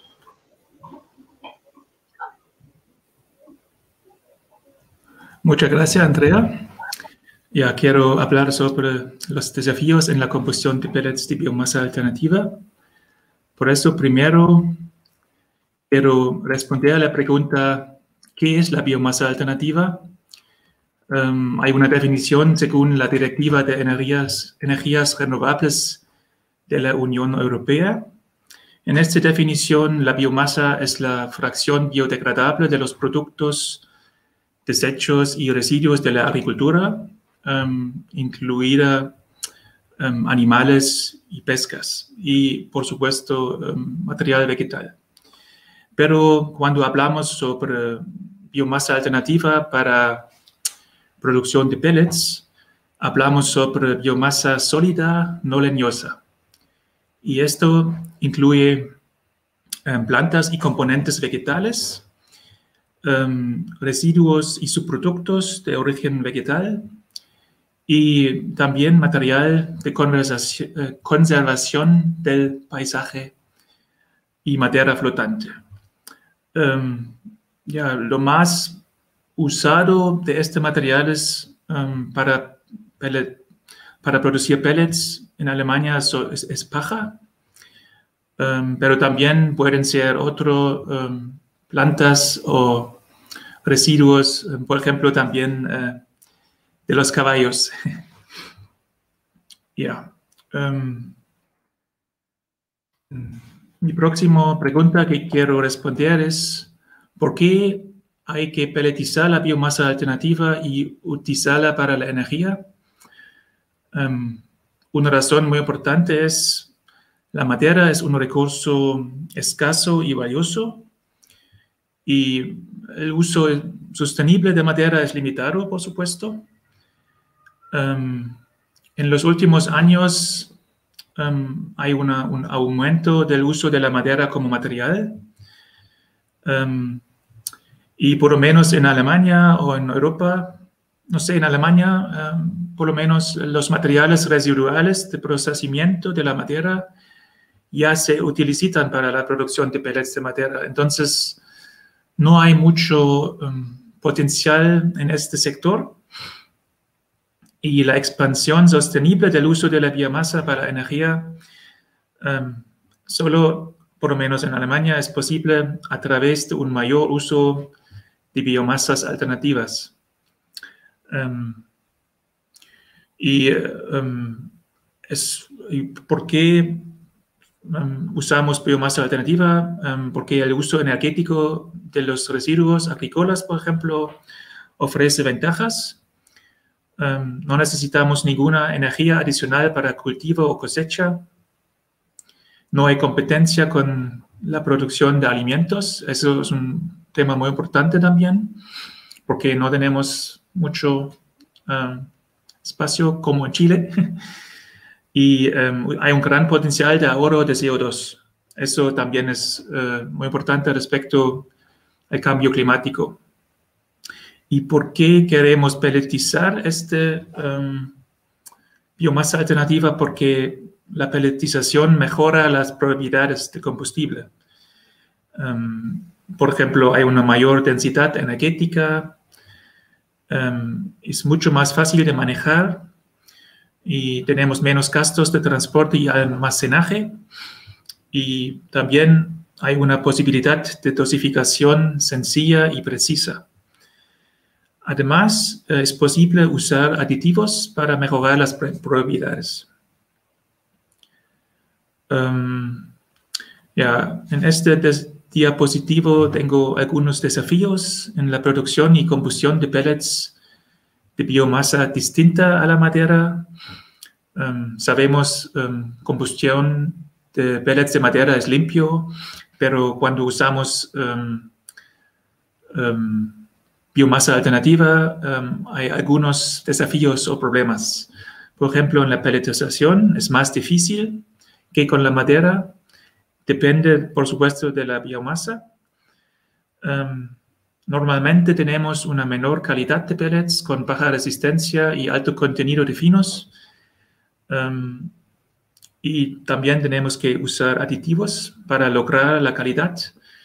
Em, yo creo que la razón por eso es no hay suficiente experiencia con la pelletización de biomasa alternativa porque es un proceso necesita, necesitamos mucha experiencia para pelletización y yo creo que en la futura, en la futura cuando hay más experiencia, em, hay pellets con más calidad de biomasa alternativa. em, las características de la combustión y emisiones. em, ya un problema, la biomasa tiene, la biomasa alternativa tiene un alto contenido en cenizas y baja temperatura de fusión de la ceniza. Y por eso necesitamos una tecnología de combustión especial. El combatimiento de la fusión de la ceniza y las emisiones de material particulado eh, pueden mm, verse influidas por aditivos como lima o ca- caolín. Um, en comparación con la madera hay un aumento de las emisiones de material particulado y también de oxígeno, de nitrógeno, óxidos de nitrógeno se llama, y también otros em, contaminantes como em, dióxido sulfúrico. Em, por eso eh, necesitamos medidas secundarias para reducir material particulado como precipitadores. También un problema es hay un mayor eh, riesgo de corrosión debido al cloro en, en los pellets. Um, entonces tenemos requerimiento especial de la tecnología de combustión. Para la ceniza um, necesitamos un potente sistema automática de descarga de cenizas. También tenemos que prevenir la formación y adhesión de grumos de escoria de mayor tamaño mediante elementos móviles en el lecho de brasase. Espero usted entiendan uh, mi, mi, español. No sé si es buena tradición, pero uh, ya quiero explicar cómo es la tecnología y um, tenemos que evitar la formación y adhesión de escoria limitando la, la temperatura um, en, de leche de brasas con sistemas de parrilla refrigerados por agua. Tenemos que prevenir temperaturas altas en la cámara de combustión. Con eso. Um, el material particulado, um, hay un alto contenido de material particulado en los gases de combustión y este puede provocar un ensuciamiento del intercambiador de calor para um, y con eso hay una reducción de la eficiencia. Um, um, las pérdidas pueden reducir mediante la limpieza periódica o automática del intercambiador de calor. Esto podemos hacer con aire, aire comprimido, por ejemplo. Y también importante materiales resistentes a la corrosión. Um, por ejemplo, podemos usar carburo de sílico o dióxido de circonio en la cámara de combustión. Y el intercambiador de calor um, tiene que hacer de acero inoxidable, que es resistente a la corrosión y que es más caro. Um, ahora quiero presentar algunas tecnologías de combustión de pellets, también de chips de madera. Aquí usted pueden ver distintos principios de combustión, um, pero esto es todo para madera o para pellets de madera. Um, el único principio que es um, útil para, para um, la biomasa alternativa es, uh, se llama tilting rate. Uh, mi traducción es parrilla basculante, yo no sé si es correcto, pero en inglés tilting rate. Y hay dos uh, distintos tipos de este rate. el único es el single rotary tilting rate, eh, solo tenemos un, una parrilla y para retirar la, ceniza, esta parrilla está moviendo. También hay un, un, doble y para retirar la ceniza, solo una, un lado eh, está moviendo y para romper la escoria, Um, es posible mover ambos lados. Y por eso este um, tipo de tecnología es también em, capaz, posible usar biomasa alternativa con este tipo de em, combustión. aquí tengo los, la tecnología de combustión de biomasa alternativa como es, es, el estado del arte de las calderas. esta tecnología existe desde muchos años, desde 20 años o más. Y la primera es eh, la rejilla de paso móvil. Em, es para pellets de paja o heno. Em, es un estándar para quemar pellets de paja, pero tiene problemas con ceniza alta. la segunda tecnología se llama cocción de suelo móvil con cámara de combustión refrigerado y con tobogán de ceniza. Esto, la segunda, es la tecnología más flexible y puede comer, eh, quemar casi todas las biomasas sólidas, incluso con alto contenidos de ceniza y bajas temperaturas de fusión. Pero, por supuesto, es un poquito más caro esta tecnología y más complejo para la configuración de control. Eh, la, eh, la tercera Em, tecnología es um, disparo cruzado con quemador refrigerado por agua. No tiene un tobogán de cenizas. Em, también es posible usar pellets de madera o astillas de madera en este tipo. es más simple y más barato esta tecnología, pero es solo para biomasa sin fuerte tendencia a la formación de escorias. Ahora quiero um, hablar un poquito sobre reducción de las emisiones. Um, hay medidas primarias y secundarias. Y, por ejemplo, para óxidos de nitrógeno, podemos usar catalizadores vía reducción catalítica SCR, por ejemplo, para reducir dióxido sulfúrico o también el cloro. podemos usar un absorbedor para absorción y para el material particulado tenemos que usar precipitadores. Puede ser un precipitador electrostático o también un filtro de tela. Estos son, por ejemplo, los tipos de, para reducir material particulado. Um, solo quiero um, decir, ciclones solo pueden reducir un poquito um, las emisiones de material particulado lo mejor son los filtros de tela, pero también tienen altos costos de inversión y funcionamiento. Precipitadores electrostáticos hay para, para leña o pellets de madera, pero em, tienen una menor eficiencia para biomasa alternativa. Pero también tienen bajos costos de funcionamiento, entonces hay desarrollos en este, mm, en este sector y yo creo que vamos a obtener más precipitadores también para biomasa alternativa, más precipitadores electrostáticos para biomasa alternativa en el futuro, porque tienen bajo costos.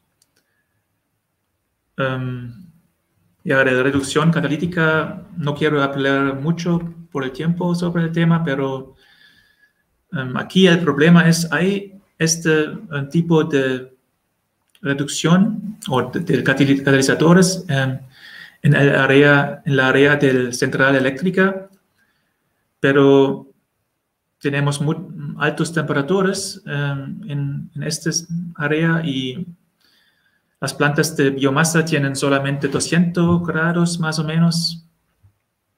Entonces necesitamos desarrollar nuevos catalizadores basados en óxidos metálicos y también esto hacemos aquí en, mi empresa de investigación.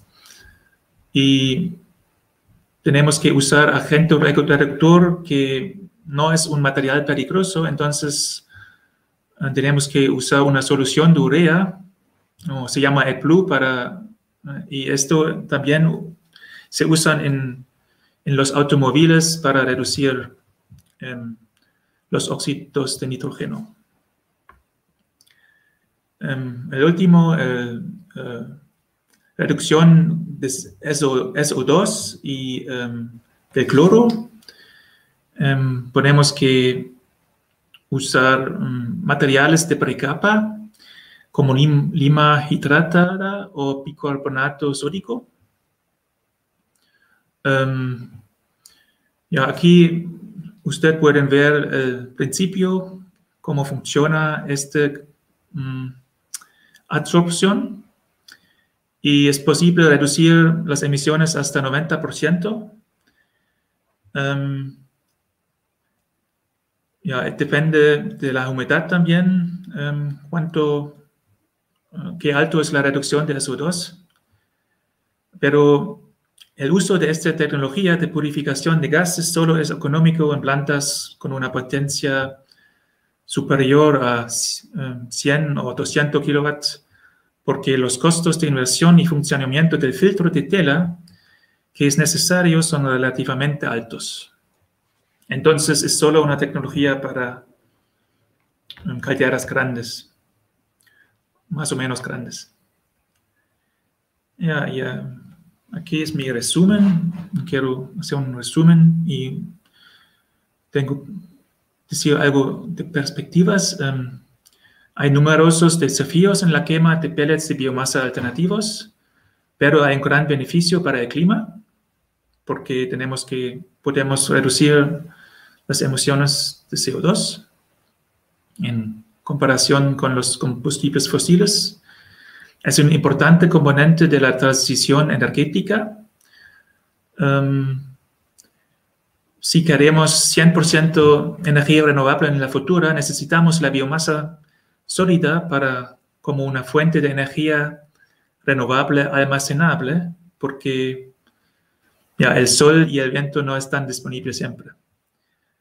Um, también lo mismo para pellets de madera, por supuesto. Um, el desafío es las propiedades especiales de las biomasas alternativas se requieren el uso de tecnología especial para la combustión. Y hay diferentes tecnologías disponibles, estufas para la calefacción residencial, hasta ahora no están disponibles. Um, en estufas de pellets solo se pueden utilizar en el futuro quizás biomasas alternativas que no tengan un alto contenido en ceniza, por ejemplo, cáscaras de aviana.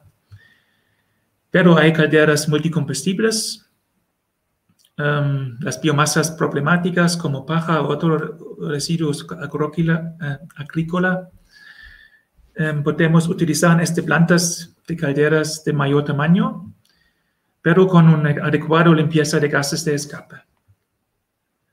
Y la última statement es um, cuando más caros se vuelven los combustibles fósiles y la madera, más atractivo resulta el uso energético de los pellets de biomasa alternativos.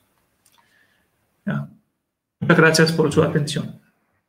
Gracias.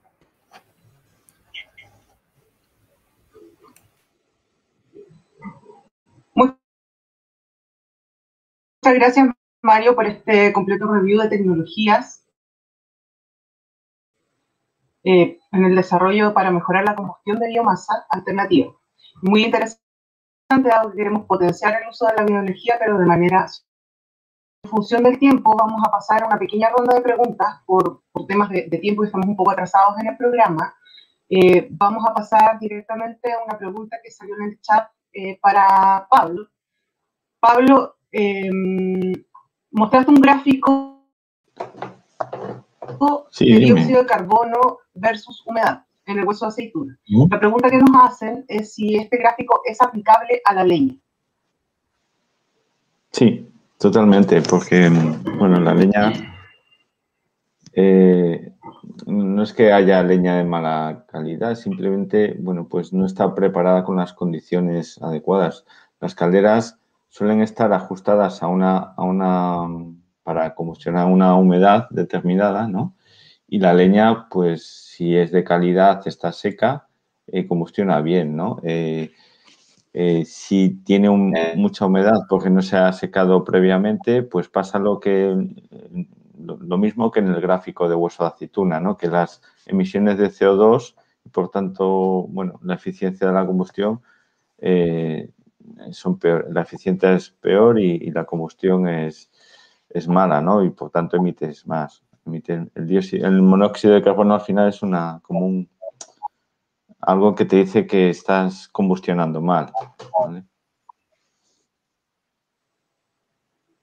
Ok, muchísimas gracias Pablo. Entonces es aplicable a cualquier tipo de biomasa. Mm. Em, otra pregunta para Antonio. Creo que algo explicaste dentro de tu presentación, pero nos preguntan referente al quiebre de stock del año pasado. Eh, ¿Igual se ve quiebre de stock para este año o hay seguridad de que habrá pellet en todas las regiones, sobre todo las más frías? Sí, como dices tú, algo lo mostré en la, presentación, pero quizás es bueno repetirlo. Eh, los volúmenes están indicando que hay una mayor, una mayor producción que el año pasado. Eh, lamentablemente no tenemos aún la curva de demanda, que como lo mencioné, está, la está preparando el Ministerio de Energía, eh, pero estimamos que no podría pasar de un 40% de los vendidos del año pasado, ¿no? Eh, sería muy difícil, eso significaría eh, quizás incorporar más de 25.000 equipos en un solo año y eso sabemos que es muy difícil, es muy difícil que este año se cumpla. Sin embargo, sí, sin prender las alarmas o sin, indicar eh, el gran riesgo, estamos en pandemia. Y en pandemia se ha visto afectada la industria de la madera, se ha visto afectada, no sé, ustedes han visto la noticia, hasta, hasta ha habido quiebre de stock de baldosa, eh, increíble. O sea, cada industria se ha visto afectada por la pandemia. Por lo cual, la recomendación, más que estar pensando de si hay quiebre o no hay quiebre, es de estas compras anticipadas y tratar de estoquear estos meses que son, son meses muy buenos para la industria. Hay un buen flujo de materia prima, eh, eh, están a full producción hoy en día, entonces lo mejor es asegurarse con una venta o una compra anticipada. Perfecto. Finalmente eso es como lo que se hacía antiguamente con la leña, que la gente se estoqueaba de leña en el verano eh, y no iba comprando diariamente que, quizás es una cultura que se debería empezar a, tomar también para el pelo. Muchas gracias, Antonio. Hay una pregunta del chat también eh, para mm, Mario. Mm, ¿Nos puedes ayudar con esto? Se han estudiado cómo hacer que la producción de pellets basada en manejo forestal de podas y raleos sea una materia prima eh, idónea, o sea, si es que podemos utilizarlo para pellets, eh, pensando en que contiene mucha corteza y otras impurezas, también más cenizas, etcétera, y que esto puede afectar tanto a la producción del pellet como también a la combustión. ¿Qué nos puedes comentar al respecto? Yo creo que hay estudios sobre el tema. Em, mm, no, no, es mi tema especial, pero um, um, sí, yo, yo, yo, puedo responder esta pregunta como si ustedes pueden ver, em, enviar un, un, mail y yo puedo buscar para este estudios si es, porque ahora no tengo en mi cabeza eh, cuántos son, de, qué país son, pero estoy, estoy seguro hay, hay, hay varios. Em, porque nosotros, para nosotros, um, biomasa alternativa normalmente no es este tipo, no, no leñoso, no leñosa. Entonces, em, ya, yo, mi tema más es um, residuos de agricultura. No, no Ya, perfecto. si, pero, quieres, puedo enviar em, algunos estudios a,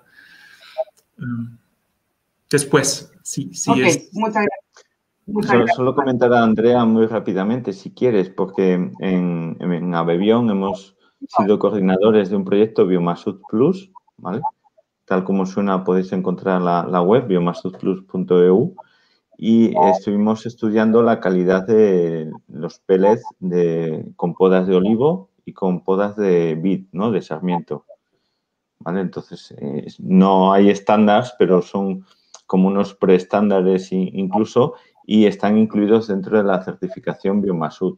¿vale? Entonces, sí que hemos estudiado mucho este tipo de, podas, de peles de podas, porque hay mucha, mucho potencial en España, ¿no? De olivo y de, y de vino, ¿no? De, de, vid. Perfecto. Entonces vamos a dejar el link eh, en el chat de YouTube para que puedan ver más información. Muchas gracias, Pablo. Eh, Laura, brevemente, ¿qué nos puedes comentar acerca de los pasos a seguir tanto en generación de pellets también con material alternativo, como puede ser las POA, eh, los raleos, y también en temas de combustión. Eh, gracias, Andrea. Em, sí, efectivamente, yo no lo comenté en la presentación, eh, quizás tendría que haber andado en eso, pero hay una línea de trabajo que tiene que ver con la combustión, que es la línea que tiene que comenzar ahora. para eso se han adquirido algunas estufas y calderas eh, y hay un investigador que trabaja específicamente en eso, que Hugo Garcés, eh, y él va a estudiar eh, las emisiones que se van a generar con estos pellets que vamos a hacer con esta diferente biomasa. Es clave y se parece bastante a lo que decía Mario, por ejemplo, algunos matorrales, la retamilla, algunas especies de estas que generan incendios, que con las que estamos trabajando, tienen alto contenido de nitrógeno, por ejemplo, de cloro y eso puede generar eh, una, eh, emisiones que no sean eh, tan positivas como lo que buscamos. Entonces es un aspecto que hay que analizar desde ese punto de vista que es muy relevante. Ok, muchas gracias Laura. La verdad es que quedan más preguntas. Por temas de tiempo no las vamos a poder revisar, pero vamos a tratar de dar respuesta a ellas después si dejan un correo de contacto. Muchísimas gracias. Ahora terminamos con este panel. Damos las gracias a, a Pablo, a Mario, Antonio y a Laura por estar en esta primera etapa del seminario. Y ahora vamos con una segunda etapa, no menos importante, que tiene referencia con las MIPIMES de Pele. Damos la bienvenida entonces a quienes van a formar parte de esta etapa y despedimos cordialmente a nuestros primeros Muchas gracias por estar con nosotros.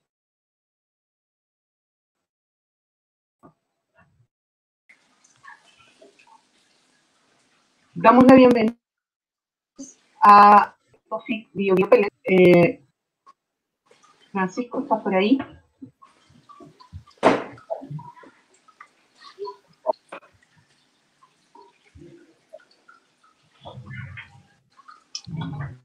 Ahí apareció Francisco. Ahí está Francisco. Perfecto. Perfecto.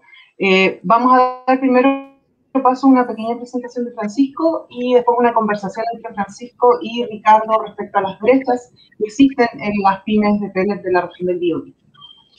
Entonces, Francisco, por favor, puedes presentarnos tu, eh, tus slides les comento que Francisco Baeza es el CEO de la empresa Biopower, que es una empresa generadora de pellets de, la región del Biobío.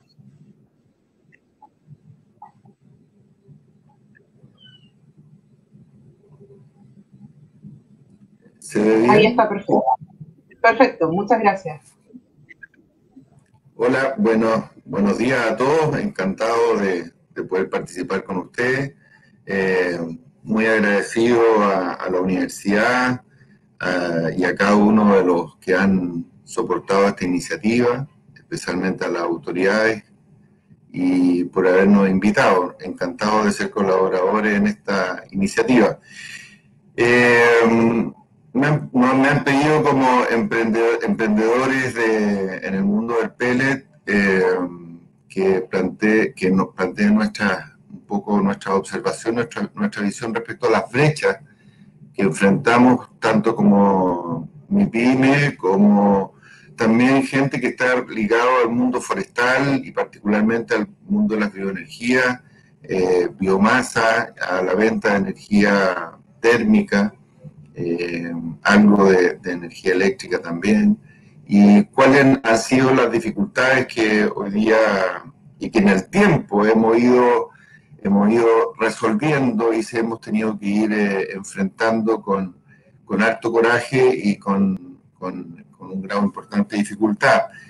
Eh, por eso identificamos que el pellet actúan agentes que son los que hemos ido en conjunto con autoridades y con el mercado resolviendo los distintos problemas o brechas. Eh, primero una, pequeña introducción respecto al pellet. Yo le pongo siempre la nobleza del pellet combustible. Creemos que eh, todos sabemos que es un combustible de, carbono neutral, es decir, que no suma el efecto invernadero. Eh, estamos inmersos en un país forestal, eh, riquísimo eh, en, plantaciones, tanto nativas, en, bien digo, en bosque nativo como en plantaciones eh, exóticas, con un tremendo potencial también todavía por desarrollar el ámbito de la agricultura. Y un poco no tan, no tan nombrado, no tan observado, es un motor social, porque la cantidad de personas que están en esta cadena productiva y hoy día con el mercado del pellet, que están específicamente ligados a la producción, al manejo, a la logística, eh, es muy, muy importante para el desarrollo local y regional eh, ligado a este combustible. Y bueno, lo que mueve, lo que mueve un poco la zanahoria que mueve la culebra es que es el ahorro, el ahorro. Sin duda que frente a no solamente a la descarbonización, sino que desde el punto de vista de la competitividad del precio. Eh, el pellet es un combustible tan eficiente que incluso es más competitivo en precio que la leña.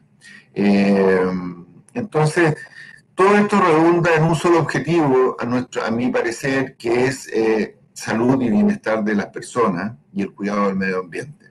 Eso es como introducción de nuestra visión y lo que nos ha movido siempre en torno al pellet. ¿Quiénes son los responsables de, este, de esta unión entre materia prima, manufactura y clientes? ¿no?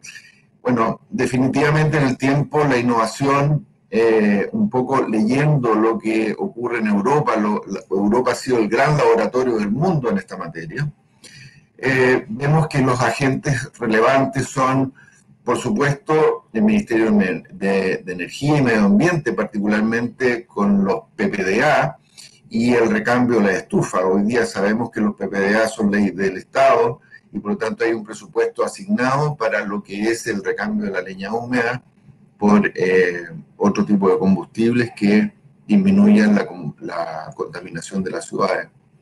Y por otra parte, ustedes, las universidades, los gremios, eh, que en el fondo vayan sustentando una, innovación ordenada eh, eh, en, todo, en, todos los sentidos y cuidando que las normas que nos vayan rigiendo estén dentro de un marco de un progreso y de bienestar de la población. Eso como marco. Y entrando en materia, definitivamente, en las brechas que como mini pyme hemos debido enfrentar, me permití eh, presentarle o hacer una, un pequeño resumen de lo que fue este, esta trayectoria hasta hoy día, ¿no? Y hemos debido enfrentar, uno, que antes no se sabía del PLD en Chile y por lo tanto los que partimos hace más tiempo hemos tenido que ir esforzándonos por crear una demanda, que la gente conozca estos nuevos conceptos en calefacción, que el Estado de Chile pueda mirar a Europa como, eh, la experiencia de Europa como una experiencia muy positiva, ya nos hablaba Pablo de, la experiencia en España y en toda Europa. Eh, y un poco tratar de ir entendiendo nuestra problemática anterior era cuál era la verdadera competitividad este, de, este, producto, de este combustible en términos de calidad, en términos de precio, cómo estructurarlo, etcétera. Esas han sido como las más importantes. Eh, no sabíamos bien la estructura de costos. Muchas empresas mini pymes entramos al negocio, salíamos al negocio, eh, nos ha costado mucho sostener, ¿no? Porque no conocíamos bien el, proceso productivo. El tema de los estándares y la necesidad de tener un, gremio que nos represente. Y ahí eh, surgió con iniciativa de algunos grandes próceres, hoy día liderados por Antonio, la organización Aspion, que es la que hoy día sí ha podido articular eh, la representación de este rubro. Hoy día como brecha, yo creo que eh, estamos enfrentando cómo los, planes de contaminación ambiental han eh, hecho crecer la demanda domiciliaria, particularmente en pandemia lo han nombrado todos los expositores. estamos esforzados en tratar de reforzar la la, logística, cómo eh, estar expuestos al público para que el público pueda llegar fácilmente a donde están los productos, nuestros productos, de una, además que los precios sean lo más transparente posible para que la competencia permita que el consumidor tenga la libertad y las facilidades para, eh, para adquirir la mejor calidad y al mejor precio el combustible. Eh, sin embargo, ¿cómo se sigue la demanda si no contamos, tenemos una gran capacidad instalada, pero si no contamos con materia prima suficiente? Unas pequeñas palabras en este sentido. Eh, mi estimación es que eh, es re importante saber que en términos de materia prima necesitamos para producir pellet que el combustible o, los acerrines, ya sea agrícola o forestal, estén secos. Por lo tanto, la, gran brecha es cómo transformar biomasa que normalmente tiene un contenido de humedad 20, 30, 50% de humedad y que esté, llegue, poder eliminar el agua y esté entre un 10, un 8% de humedad para poder ser paletizado. Entonces hoy día enfrentamos a que no hay materia prima seca disponible para llegar y paletizar. Y nos enfrentamos a la necesidad de que para poder aumentar la producción y y satisfacer la demanda, debemos enfrentar el secado de biomasa como una prioridad. Otra brecha es eh, entender cómo lograr ser competitivo en el mundo de la industria, no solamente a nivel domiciliario. La industria es un gran, consumidor de pellet en el mediano a largo plazo y sobre todo porque 24/7. El pellet domiciliario tiene un ciclo de consumo en invierno muy exponencial y la industria no. Por lo tanto, hay un punto importante como visión comercial de, de, la mini pyme.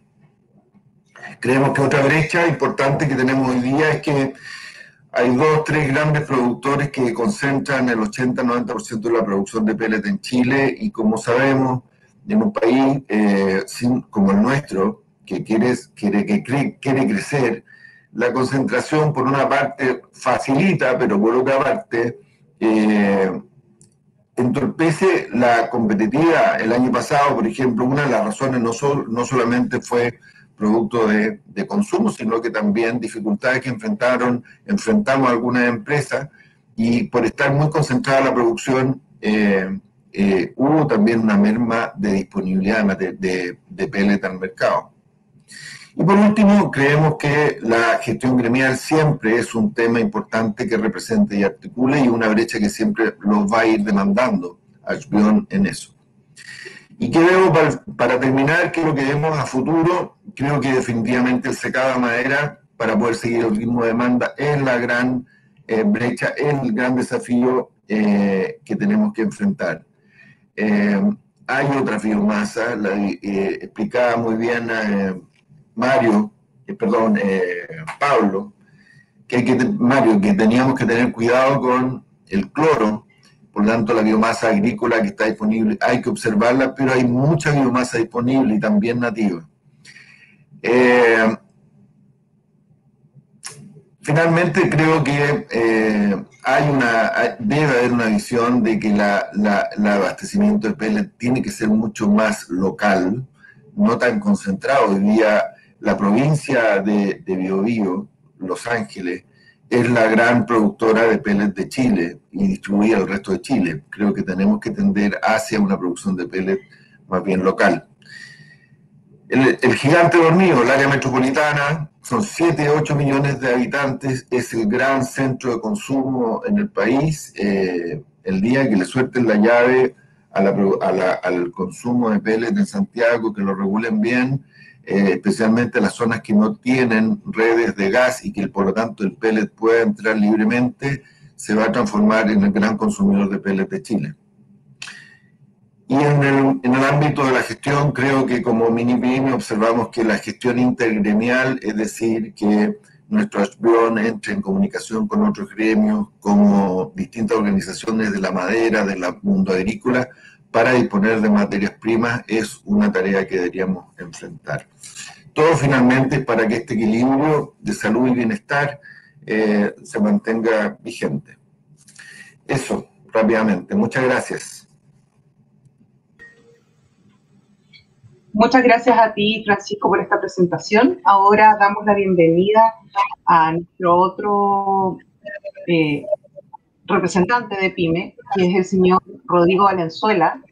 Si puedes tener la cámara, Rodrigo, por favor. Él es director de la empresa INAPEL y nos va a presentar eh, una charla que se llama INAPEL, el pellet y la gestión del cambio. Rodrigo, por favor. Adelante.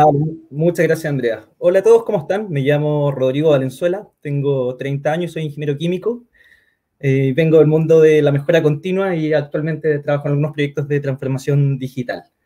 Bueno, hoy día eh, quería contarles un poco de INAPEL, ¿verdad? La industria nacional del pellet, eh, que bueno, para nosotros más que una industria ya como emprendedores es un sueño, ¿verdad? Y un sueño que se inició en un principio, ¿verdad? Con eh, bueno, con este equipo, ¿verdad? Con Matías Enríquez, Rodrigo Segura y que les habla Rodrigo Valenzuela, ¿verdad? Eh, les puedo comentar que somos un equipo súper unido, con Matías éramos amigos en la universidad, Rodrigo los integramos después y ha sido un tremendo aporte, un equipo unido y con altas capacidades técnicas, eh, entre los tres tenemos, somos ingenieros mecánicos, químicos e industriales, ¿verdad? Así que ha sido un buen tridente para trabajar con ellos. Somos un equipo que nos jugamos, bueno, el partido hasta el último minuto, estamos determinados obviamente en seguir con este sueño y ha sido súper enriquecedor para nuestras vidas también poder desarrollarlo. Y bueno, aquí se me va a escapar quizás un poco lo, la mejora continua que llevamos dentro, pero somos un equipo capaces de adaptarnos al contexto, ¿verdad? Hoy en día podemos hacer planificaciones a largo plazo, pero lo único constante en la vida es el cambio, ¿verdad? Y así es como nos encontramos con contextos de pandemia que provocan estos quiebres de stock, entre otras cosas. Y, y bueno, en eso hemos podido hacer un, un gran esfuerzo con el equipo para irnos adaptando y, también hemos podido construir equipos bien potentes dentro de, la misma planta, así que eso ha sido súper enriquecedor.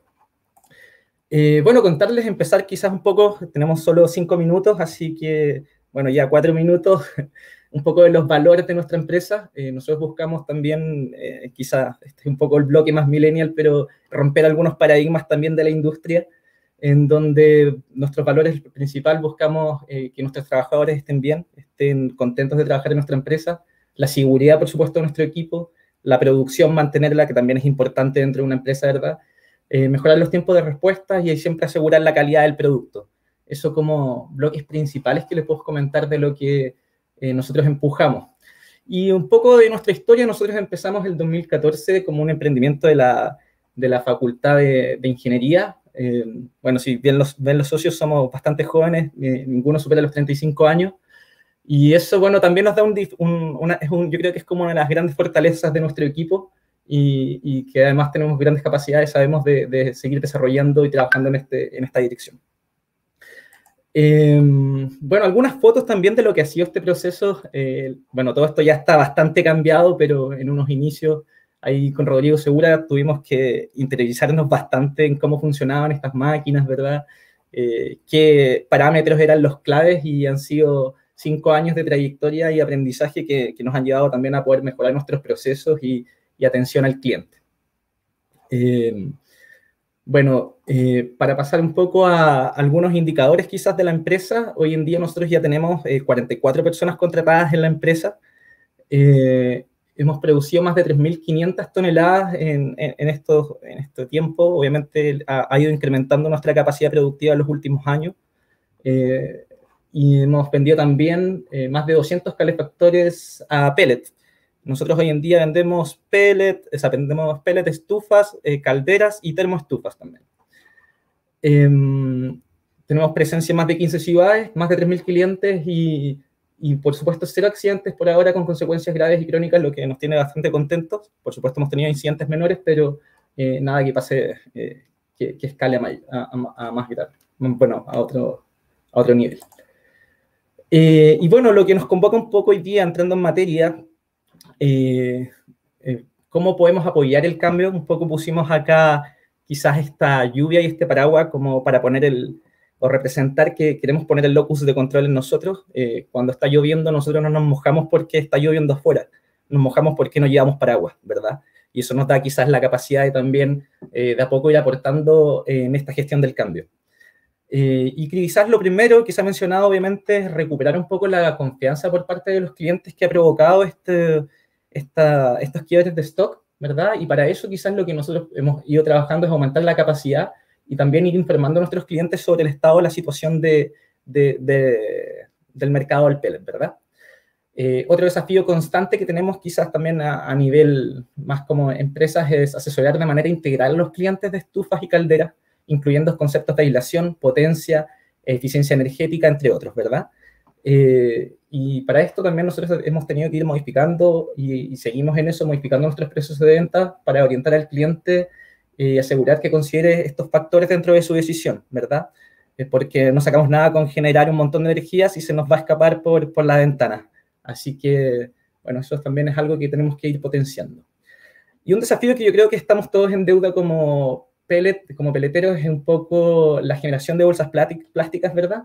En algún momento nosotros hicimos algún intento por eh, cambiar nuestro formato, pero dado que somos una empresa eh, más pequeña, nuestros costos de producción son mayores y el también incluir o aumentar nuestros costos en, en, en la bolsa de papel eh, nos hacía menos competitivos, así que ha sido un poco complicado eh, migrar hacia eso, pero, así, pero todavía tenemos ideas en mente y, y obviamente podemos ir estableciendo o tomando acciones como establecer eh, vínculos con centros de reciclaje, influenciar el recambio en bloque a, a, bolsas de papel, porque es imposible competir con los grandes, como les digo, si es que no lo hacemos todos al mismo tiempo o buscar nuevos modelos de negocio, como mover el pellet a granel, y eso también quizás va a requerir un cambio en cómo el usuario recibe el pellet, cómo lo administra, almacena, maneja.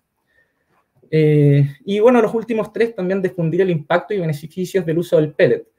Y bueno, como quizás eh, aquí la, la, audiencia puede saber, el pellet nace también de una necesidad de, de mejorar la calidad del aire, ¿verdad? Eh, en, hemos llegado en Chile a pics de 742 microgramos por, eh, por metro cúbico en Coyhaique, en una instancia cuando el límite diario es 50.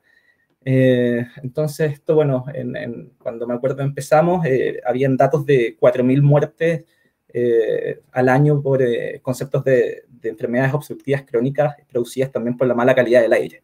Y bueno, eso se suma también a las restricciones, ¿verdad? Hacer deporte, eh, porque finalmente estamos respirando partículas imperceptibles, o sea, 2,5 micrones, nuestro pelo tiene 70 micrones de diámetro. Así que, bueno, es un tremendo desafío. Eh, un, otro desafío que ha salido bastante, ¿verdad? Esto de asegurar el abastecimiento de materias primas y, y desafiar cómo, cómo lo generamos, cómo obtenemos esta materia prima. Y por último, visibilizar un poco el impacto que hemos tenido en la reducción de la, de la contaminación, quizás en la calidad del aire, y ahí podemos hacer eh, algo importante quizás con, con los indicadores de impacto ambiental de las estaciones de monitoreo. Así que esa era nuestra presentación. Muchas gracias por darnos el espacio y bueno, un saludo a todos.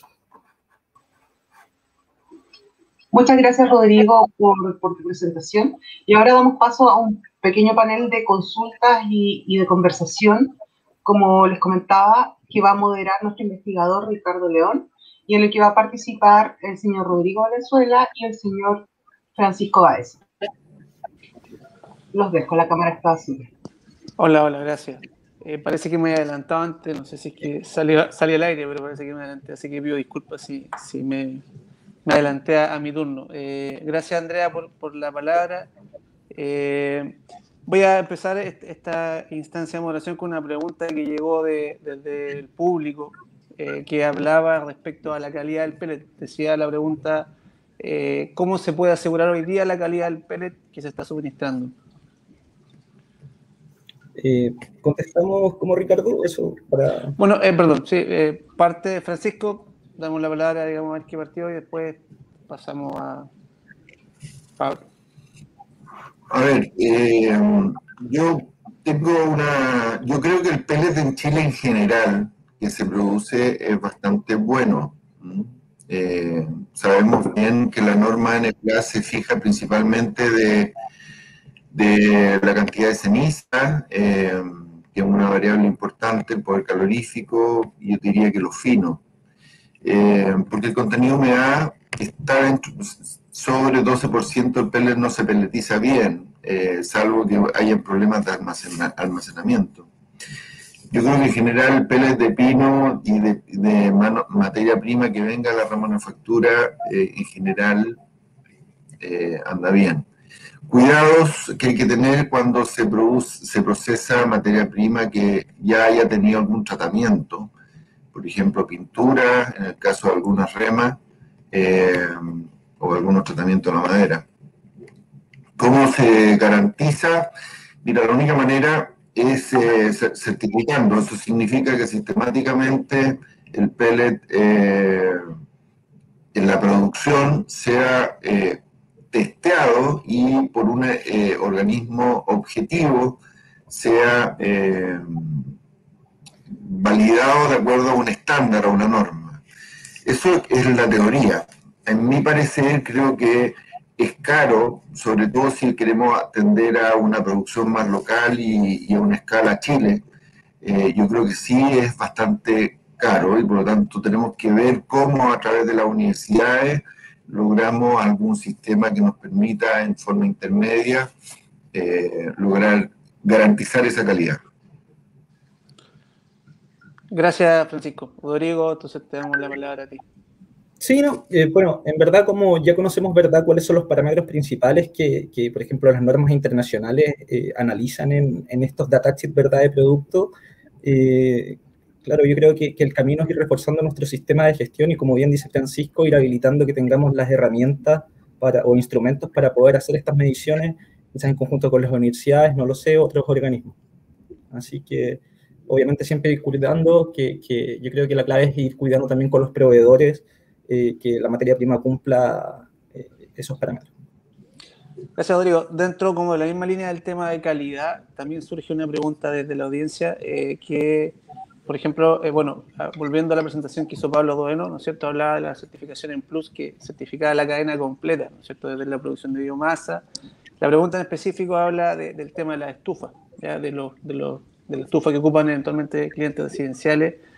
¿Cómo se puede también certificar la calidad de esa estufa. Es parte también de la problemática de industria, como lo ven ustedes. Partimos de ahora, si te parece, a Rodrigo primero y después Francisco. Y certificar la calidad de las, estufas, dices tú, Ricardo. Estufas, calefactores, claro. Sí, mira, entiendo que, que, hoy en día existen protocolos también, si tú quieres vender una estufa pellet de certificación previa a ingreso al país, eh, nosotros en algún momento intentamos importar y nos encontramos con eso, así que entiendo que es un proceso que hoy en día eh, existe.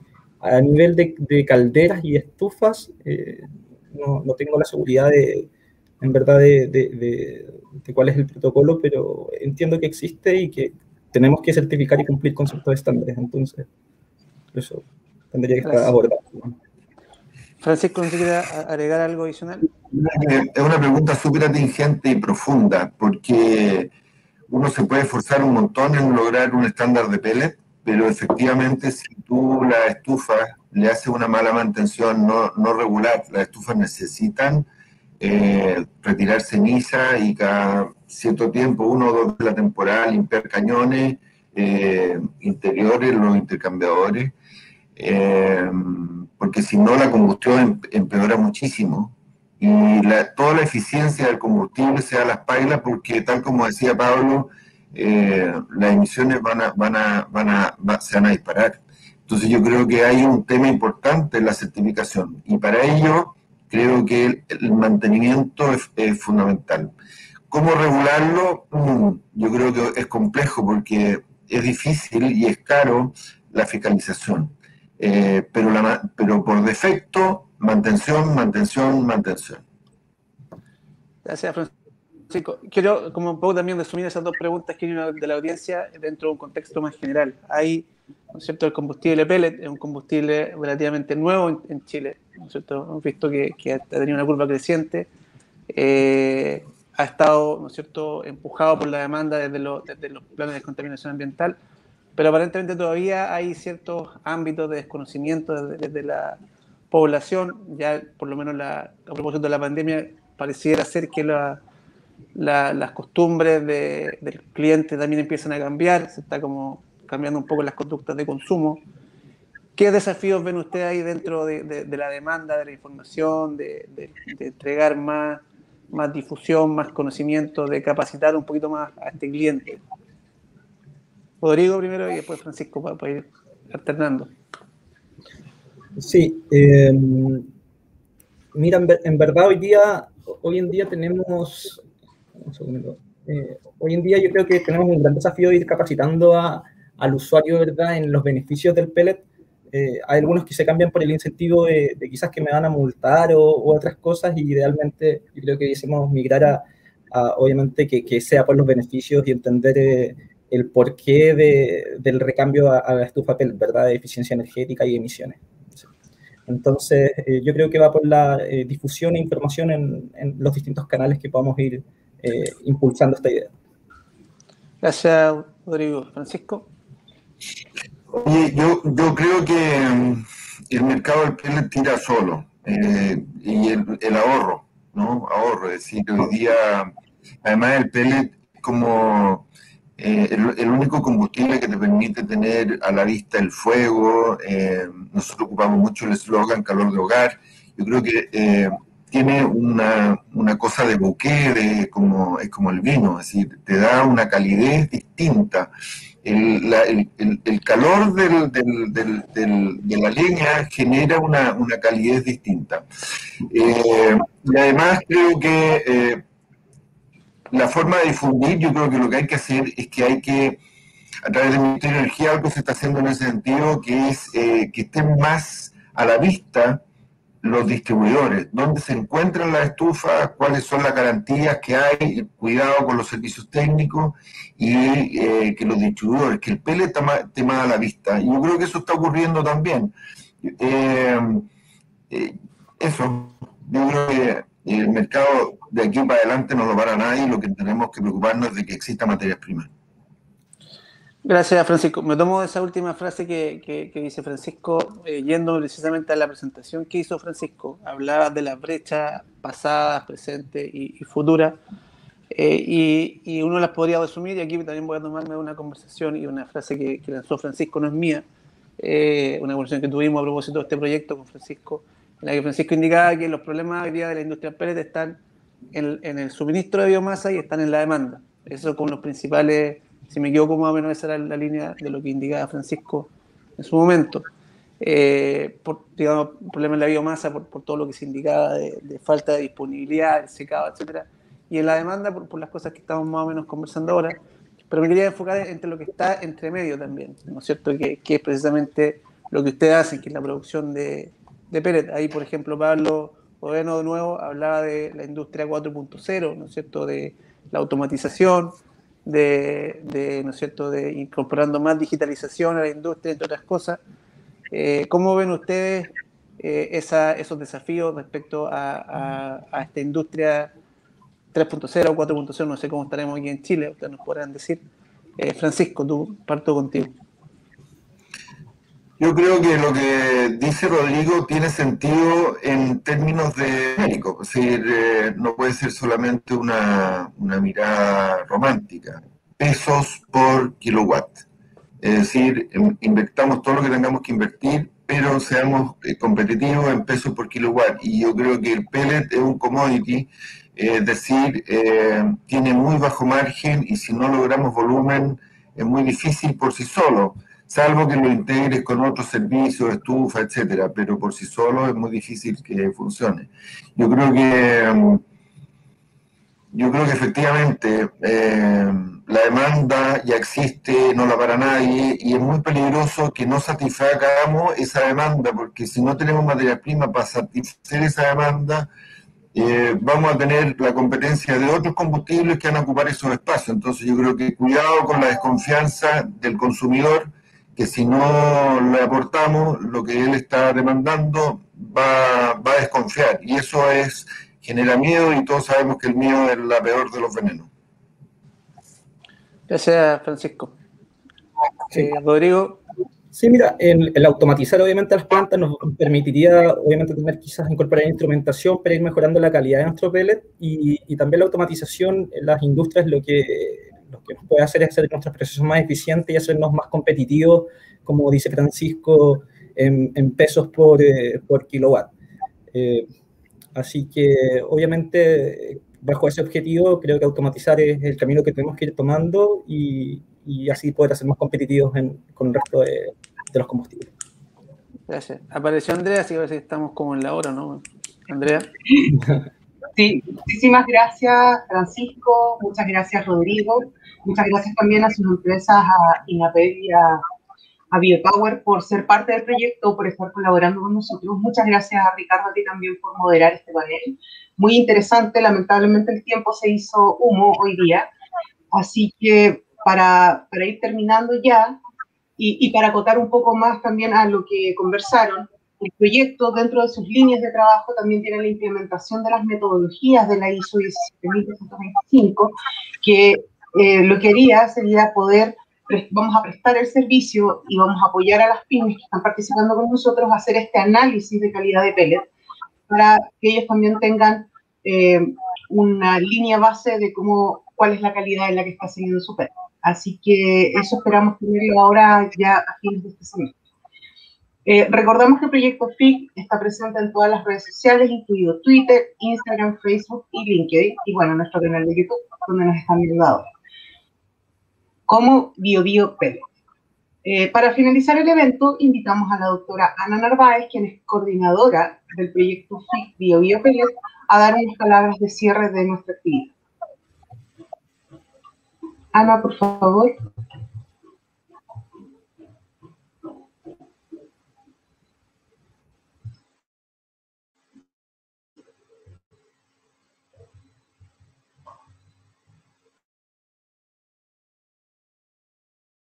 Sé que lo había sacado. Ya, muy buenos días a todos. Muchas sí. gracias por la participación.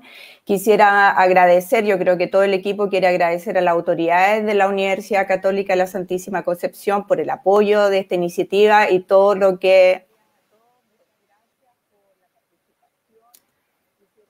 Mm.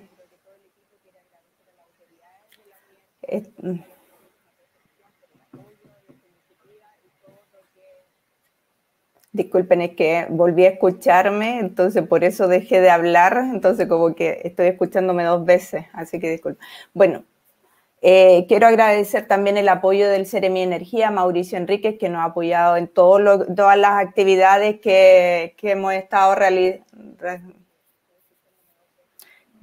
También agradecer a los panelistas que participaron en este seminario, quienes nos dieron una visión de la industria del pellet y el futuro de este, que fue muy interesante. Vimos las distintas aristas, las brechas. Yo creo que es algo que nos, nos, va a servir mucho para el proyecto y a todos los que hemos estado participando acá.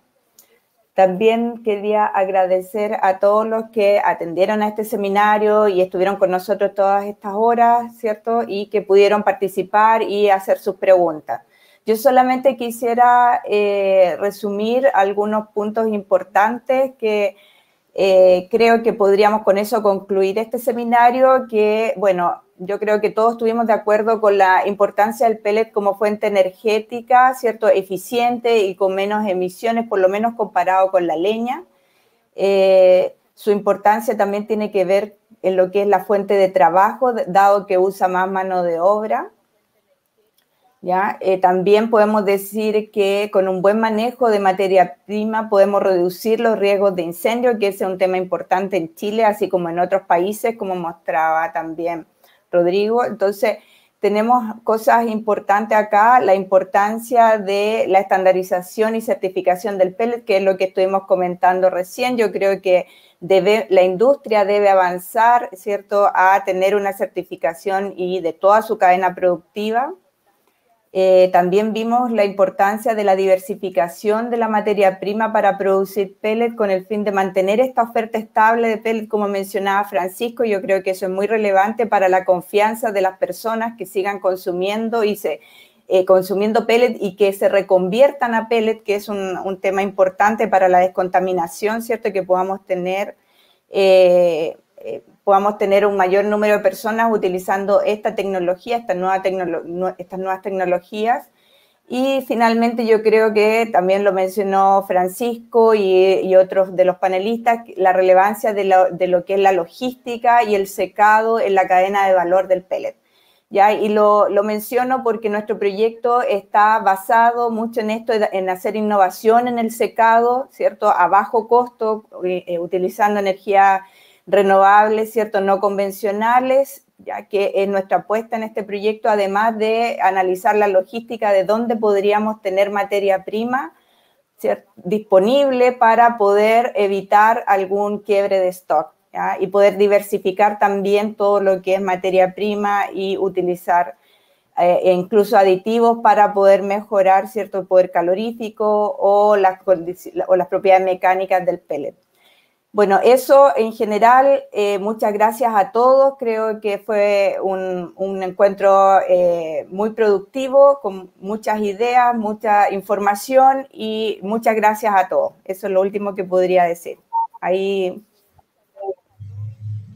Muchas gracias, Ana, por tus palabras finales y por, por hacer este pequeño resumen de los puntos relevantes de este seminario y en realidad de toda la cadena de valor del pellet. Eh, de esta manera damos por finalizado el seminario Pellet y Combustión, Visión Global y Local hacia la eficiencia térmica y la descontaminación. Agradecemos a cada uno de los expositores, de todos nuestros invitados, a nuestras autoridades que estuvieron hoy con nosotros, eh, que se dieron un tiempo para para compartir toda su experiencia. También damos las gracias a nuestro colaborador, Ashbion, y a los media partners, Página B y Reporte Sostenible. Les recordamos que estamos presentes en todas las redes sociales como BioBio para que nos puedan seguir y tener más información acerca del proyecto y de las iniciativas que podemos realizar. También este, este seminario va a quedar disponible en nuestro canal de YouTube por si quieren revivir las presentaciones. Muchísimas gracias a todos, sigan cuidándose y muy buen día.